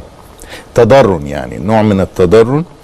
بيجي في الغدد الليمفاوية وبيجي في أماكن ممكن يجي في أي حتة يعني ممكن يجي على الجلد ممكن يجي في العين ممكن يجي في الصدر من جوه. فالتشخيص مهم جدا من خلال بعض التحاليل اللي بنعملها. وبعدين بندي ال- الحاجات مثبطات للمناعة وبندي آه، حاجات معينة. بس إيه آه، يعني هو بياخد له من سنتين لثلاث سنين على ما الأمور يعني إنه يقدر يختفي وبعد كده يتابع مع الدكتور يعني. آه ثابت من القاهرة؟ أستاذ ثابت. طيب. زينب من اسكندرية؟ أيوه مساء الخير يا دكتور. مساء النور اتفضلي. مساء الخير يا فندم. آه آه، لو سمحت أنا بسأل عن مرض الهربس. أوكي. مرض الهربس هو معدي الحزام أوكي. الناري قصدك مش كده؟ ولا آه أيوه أيوه آه. الحزام الناري. أوكي. آه هو آه معدي. طب حاضر. فترة العدوى بتكون إمتى؟ حاضر. هجاوب حضرتك. وبعدين عايزه أقول لحضرتك سؤال كمان. اتفضلي. هو بعد هل ممكن يرجع مرة ثانية بعد ما يشفى؟ حاضر. آه مرض آه آه فيروس الهربس. هو نفس فيروس الجديري اللي بيجي ال- للعيال الصغيرين. يعني لما يجي في الكبار بيروح على الأعصاب. يعني يهاجم العصب ويسبب ألام شديدة جدا. نعم. بنقول عليها حزام ناري. يعني تلاقيه واخد الكورس بتاع العصب نفسه مثلا بين الصدر أو في الإيدين في عصب معين هتلاقيه لو مشيت معاه تلاقيه هو نفس كورس العصب. ال- الحزام الناري من الفيروسات زي ال cytomegalovirus وغيرها اللي بيجي للأشخاص اللي مناعتهم بتضعف. فعندما تنخفض المناعة لأن ده بيستخبى في العقد العصبية. يعني هو يجي وي- ويستخبى في العقد العصبية. فممكن جدا إنه يجي أكتر من مرة لما يحصل معدي؟ معدي في حالة ال- الراش أو الطفح اللي بيبقى موجود آه، الملامسة ليه. أم محسن من باب الخلق؟ ألو؟ أيوه معاكي. آه، حضرتك أنا ممكن أسأل الدكتور على حاجة؟ اتفضلي. دكتور معلش أنا والدتي الله يرحمها كانت آه، مريضة بالسرطان. واكتشفنا الموضوع ده متأخر قوي وبرضه العيلة عندي عيلة والدي عندهم آه، سرطان برضه بس في أماكن مختلفة. فأنا كنت عايزة أعرف إذا كان لا قدر الله ممكن أنا أصيب بالسرطان أو لأ. أوكي. شوفي أنت عفوا عندها كام سنة متجوزة ولا لأ؟ بص حضرتك آه، أنا ولا والدتي؟ أنت. أنا عندي 28 سنة ومتجوزة ومعايا طفلين. أوكي. بصي هقول لحضرتك حاجة عن السرطان. اولا السرطان فيه 200 نوع منه. دي أول حاجة. فيعني لو بتتكلمي على حاجات معينة أشهر الحاجات اللي هنقولها مثلا سرطان الثدي سرطان عنق الرحم سرطان الرئة بالنسبة للمدخنين سرطانات الفم والحاجات دي بالنسبة برضو للمدخنين. ففي حاجات الليمفوما اللي هي بتيجي في الغدد الليمفاوية اللوكيميا بالنسبة للأطفال. ال- اللي عايز أقوله إن السرطان متعدد الأسباب. انت بقى عايزة تطمني هيجيلك ولا لا؟ اولا تحددي النوع يعني مثلا إذا كان سرطان الثدي هناك تحاليل جينية يمكن أن تبين قابلية الانسانه أو الإنسان للإصابة. عندك استعداد ولا لا؟ آه. انها عندها استعداد للإصابة ولا لا. نمرة اتنين إن هي آه تعمل الفحص الماموجرام آه باستمرار. تعمل باب سمير اللي ده هو فحص على الثدي. الثدي. أشعة على الثدي فحص على الثدي بتبين. لا خلينا نبسطها تاني. تروح معمل و... وتعمل أشعات إيه وتحاليل إيه؟ تعمل آه آه الماموجرام ده أشعة. ده على الثدي. على الثدي. وتعمل أشعة على الصدر. وتعمل آه باب سمير دكتور النساء ياخد لها عينة من عنق الرحم. عنق الرحم. ويبعتها المعمل تتفحص وده يتعمل كل سنة. الكلام آه اللي الت... الثلاث تحليلات دي كل قد إيه؟ دي كل سنة. كل سنة. آه. وبعدين آه آه تحاليل الدم بقى صورة دم سرعة ترسيب وظائف كبد وظائف كلى. إذا كان راجل آه مهم قوي إنه يعمل ال PSA اللي هي التحليل بتاع البروستات. البروستاتا. طيب منال من حلوان وبعدين عادل من القاهرة. منال اتفضلي. عليكم آه، لو سمحت عايزة أسأل الدكتور بس عن آه، أنا بنتي عندها 18 سنة وجالها جلطة من آه، أقل من سنة. آه، جلطة في أوردة الرجل كلها. وقالوا لي إن ما عملت تحاليل قالوا لي إن بروتين اس وسي آه، قليل في الدم. وبتتعالج دلوقتي مع دكتورة أمراض دم بال... بأدوية سيولة والكورتيزون أوكي وبيجي لها دوخة وصداع وما بتقدرش تتحرك. آه، ما بتقدرش تبلع وما بتبقاش آه، متزنة الجسم في حالة عدم اتزان. دي فترة يعني الحالة دي بتقعد معاها حوالي آه، أسبوع وبعد كده ترجع تتحسن. وأنا مش عارفة ده ليه علاقة بأمراض المناعة. ودلوقتي ممنوع إن أنا لو جالها برد ما ببقاش عارفة اديها أدوية إيه. ما مش عارفة إيه الأكل اللي ياثر على السيولة والجلطات لأن قالوا جسمها بيكون أجسام مضادة بتعمل جلطات فأنا مش عارفة أتعامل معاها. أروح أكمل مع دكتور أمراض دم؟ هو طبعا ال- المفروض إن آه، الحالة دي بتبقى آه، آه، يعني فيها مشكلة ال- الالتهابات ال- المناعية اللي هي بتبقى في قابلية لتكوين جلطات نتيجة وجود أجسام مضادة زائد آه، قد يكون عندها نقص في بعض النوع من عوامل تجلط الدم. آه، آه، أو العوامل اللي بتؤدي إلى هذه الجلطات يعني بت- بتبقى عندها زيادة. آه، فاللي بيحصل إن إحنا بنديها مسيلات للدم إذا تكررت الموضوع ده بتاخد المسيلات مدى الحياة وينبغي إن هي تعمل تحاليل أخرى للذئبة الحمراء وغيرها من بعض آه، الأجسام المناعية اللي هو ال extractable nuclear antigen ده مهم قوي إنه يتعمل علشان خاطر نشوف في جوه النواة في 15 نوع من الأجسام تروح. فين وتقول له اعمل لي إيه؟ هتروح لدكتور متخصص. نعم. في إيه؟ في يا مناعة يا أمراض دم. يا مناعة يا أمراض دم. آه. آه ولازم يعمل الحاجات دي علشان نشوف دي أولية يعني ال ال ال النوع ده من ال autoimmune vasculitis أو antiphospholipid syndrome اللي هو اللي هو طب عفوا هي تطلب إيه من دكتور أمراض المناعة أو أمراض الدم؟ إن هو ي ي يعمل التحاليل الخاصة ب- بأمراض المناعة الذاتية اللي ممكن ده يكون عرض ثانوي ليها. نعم. عادل من القاهرة آه، أيوه مساء الخير. مساء النور. اتفضل سؤالك للدكتور. أهلا بيك. آه، لو سمحت يا دكتور أنا بقالي فترة حوالي 20 سنة بعاني من التهاب في الأعصاب الطرفية polyneuropathy و آه، خدت كل الأدوية الحاجات ال symptomatic treatment كلها لفترة آه، آه، طويلة جدا. لغاية من حوالي سنة تقريبا. حضرتك عندك سكر؟ لا ما عنديش سكر لا. أوكي.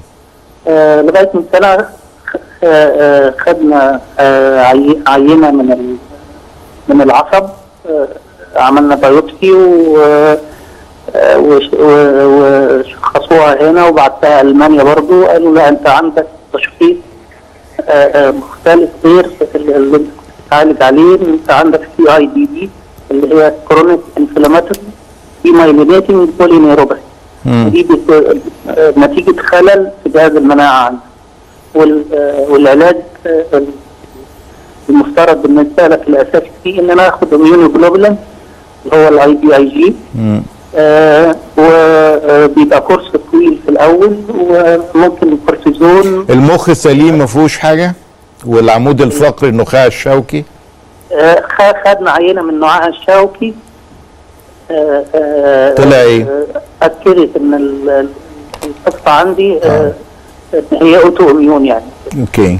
آه، بس آه، هل أنا دلوقتي إيه؟ يعني إيه السبب؟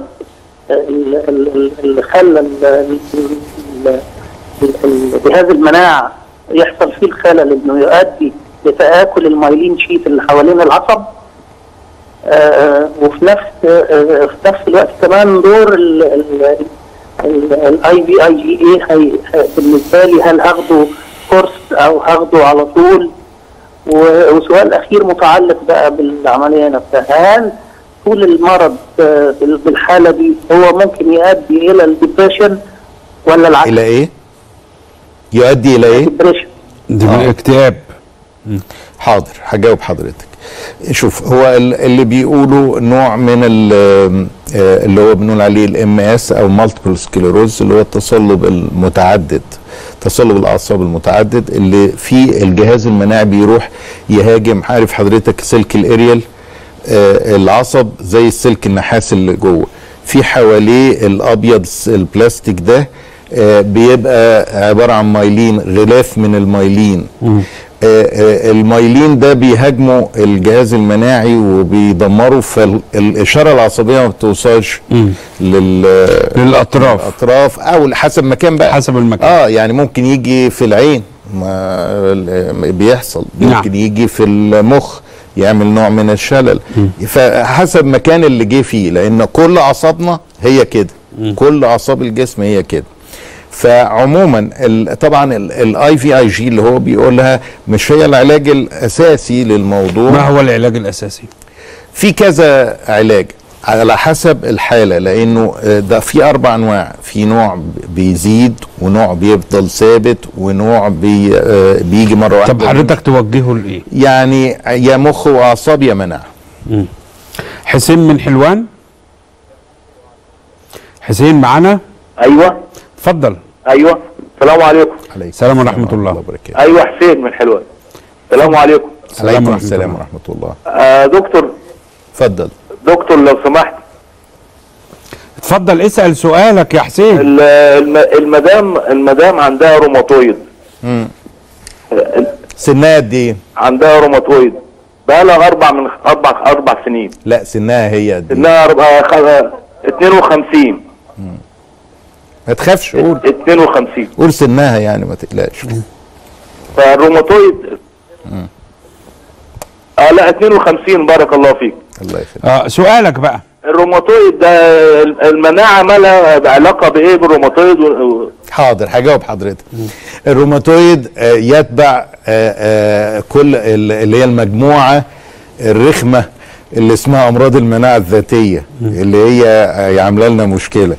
أمراض المناعة الذاتية اللي متفقنا إن الجهاز المناعي بيختار حاجة معينة وإيه ويهاجمها. فهنا في الروماتويد بيهاجم ال ال الغشاء آه، آه، الزلالي اللي اللي في المفصل.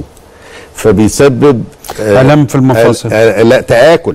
تآكل. تآكل. فيجي المفروض إن المفصل ده هو اللي بيحوش العظم ما كلها المفصل بيفصل عظمه عن عظمه فلما يتآكل المفصل آه، العظمة بتحك في العظمة فيحصل التآكل. نعم. فيبدأ يحصل تشوهات والروماتويد مش بس في المفاصل لا ممكن يجي في حتت تانية. ممكن يصيب الأغشية المحيطة بالرئة أو القلب. ممكن يصيب آه، الغدد اللعابية والعين. نعم. فالروماتويد كل ما إحنا آه، يعني آه ليه كذا آه طريقة في العلاج. آخرهم العلاج البيولوجي ولكنه غالي شوية لكن في علاجات كتير آه أقل يعني آه تكلفة. طيب اخد عادل من المنوفية. السلام عليكم. ورحمه الله. السلام ورحمة الله أنا عندي سؤال بس للدكتور. عندي ابن عنده 16 سنة. آه كان سخن وقال عنده آه ذئبه حمراء. أيوه. وبنعالجه ففي دكتور يقول لك ده زيادة مناعة وفي دكتور يقول لك نقص مناعة. مم. فإحنا ماشيين بالكورتيزول وحاجات زي كده. حاضر. الذئبة الحمراء آه، تنتمي أيضا إلى مجموعة أمراض المناعة الذاتية. ومشكلة الذئبة الحمراء بقى إن هي آه، آه، في عندي نوعين منها. ذئبة حمراء اللي هي بتيجي في الجلد وبس. والنوع الآخر اللي هي بنسميها ذئبة حمراء قرصية بتيجي على شكل قرص كده في على الجلد وخلاص. لكن الذئبة الحمراء الجهازية هي دي المشكلة إن لأنها بتمسك أكتر من عضو في الجسم أهمهم الكلى آه، آه، إن هي بتعمل مشكلة كبيرة في الكلى وتسبب فشل كلوي. فمهم قوي إن أنا آه، أشخص صح إن أنا أشوف هذه الذئبة الحمراء عملت إيه على مستويات المضاعفات اللي في الجسم سواء آه، في الرئة أو في القلب أو في الكبد أو الطحال أو غيره. بعد كده آه، أبدأ أعالجها آه، من خلال الحاجات اللي هي العلاجات المعروفة للذئبه الحمراء. خليني آخد من حضرتك بقى روشتة للجهاز المناعي. إحنا توقفنا بس جت أسئلة السادة المشاهدين. حضرتك قلت الضحك معالجة الاكتئاب بالظبط. الرياضة؟ الرياضة كل الحاجات دي آه الأكل إيه بقى؟ الأكل الحاجات الخضروات والفواكه الطازجة الملونة. طبق السلطة يعني. طبق السلطة الملون. يعني كل ما زاد اللون كل ما يعني فلفل أخضر آه، خيار أخضر آه آه، بنجر، فلفل أصفر طماطم حمراء بالظبط. ال- آه، أيضا جنين حبوب آه، حبة القمح. ده من الحاجات ال- القوية قوي آه اللي هي الخبز الأسمر. الخبز الأسمر طبعا اللي هو مخبوز بالقمح كامل. نعم. قشر القمح بيبقى فيه. نعم. يعني الدقيق الابيض مش مش كويس. نعم. لكن الدقيق الأسمر هو اللي كويس. ناخد بالنا إن الخشاف مثلا القراصيا والزبيب والحاجات دي فيها كم كبير جدا من مضادات الأكسدة ومفيدة جدا للمناعة. البليلة ولو حطيت عليها شوية مكسرات هتبقى حاجة عظيمة جدا. ال ال الكيوي وال- والجوافة والكنتالوب والبرتقال والليمون وال- والطماطم كل دي حاجات فيها فيتامين. تقوي جهاز تقوي المناعة. جهاز المناعة. ال- المأكولات البحرية اللي فيها الزنك والسيلينيوم والحاجات دي برضو تقوي جهاز المناعة. اللحوم الحمراء لا دي مضرة لأن تضر بجهاز آه المناعة؟ آه لأنها بتطلع كميات كبيرة من الأكسدة؟ من ش- م- شوارد الحرة اللي هي آه من مم. الأكسدة. فيستحسن لو انت عايز طب اللحوم البيضاء؟ اللحوم البيضاء أقل ضررا من من اللحوم الحمراء. والاسماك أحسن منهم كلهم. الأسماك أحسن منهم. لأن فيها الأوميجا 3 والأوميجا 6 والأوميجا لكن يبقى الضحكة هي الأفضل؟ قوي والله يا ريت. يعني يا ريت فعلا ال- الضحكة الصافية الرايقة دي. أو عارف إيه؟ ركعتين في جوف الليل. لأن ده تأمل. تامل التأمل يقوي جهاز المناعة؟ آه طبعا. التأمل عنصر مهم جدا في تقوية المناعة. فأنت لما بتعمل كده بت بت بترمي حمولك على ربنا سبحانه وتعالى فأنت لاقي قوة أكبر منك. أنت بتلاقي آه بتدور على بتدور على- ترمي عليه آه، حمولك آه. ولن تجد من هو أقوى من. الله. وفي نفس الوقت أنت بت بتعيش اللحظة الآنية. لا بكرة في إيه ولا قبل كده كان نعم. في إيه وبتفصل وبالتالي بيحصل نوع من آه، استعادة الشحن آه، مرة أخرى للمناعة أعتقد روشته بسيطة يعني آه، مش هنتكلم بقى على ضغط الأعصاب والكلام بعد ما تتفرج كده على مساء الخير اللي خلص انتظر الفيلم اللي جاي لك كمان شوية واقعد اضحك أنا بشكر حضرتك الأستاذ الدكتور عبد الهادي مصباح أستاذ أمراض المناعة على تشريفك أنا اللي. بشكر حضرتك الله. يخليك ربنا يخليك حلقة آخر الأسبوع خلصت. بذكر حضراتكم عايزكم تشوفوا برنامج ستار أكاديمي على قناة سي بي سي العامة. مفروض يوم السبت والحد والاثنين هسأل حضراتكم فيما يتعلق بالحفل اللي بيبقى موجود كل يوم خميس. الفائز هيبقى له دعوة مجانية من آه، شبكة قنوات سي بي سي للسفر والإقامة في بيروت وحضور الحفلات اللي بتقام كل يوم خميس. أشوفكم على خير يوم السبت. كل سنة وأنتم طيبين.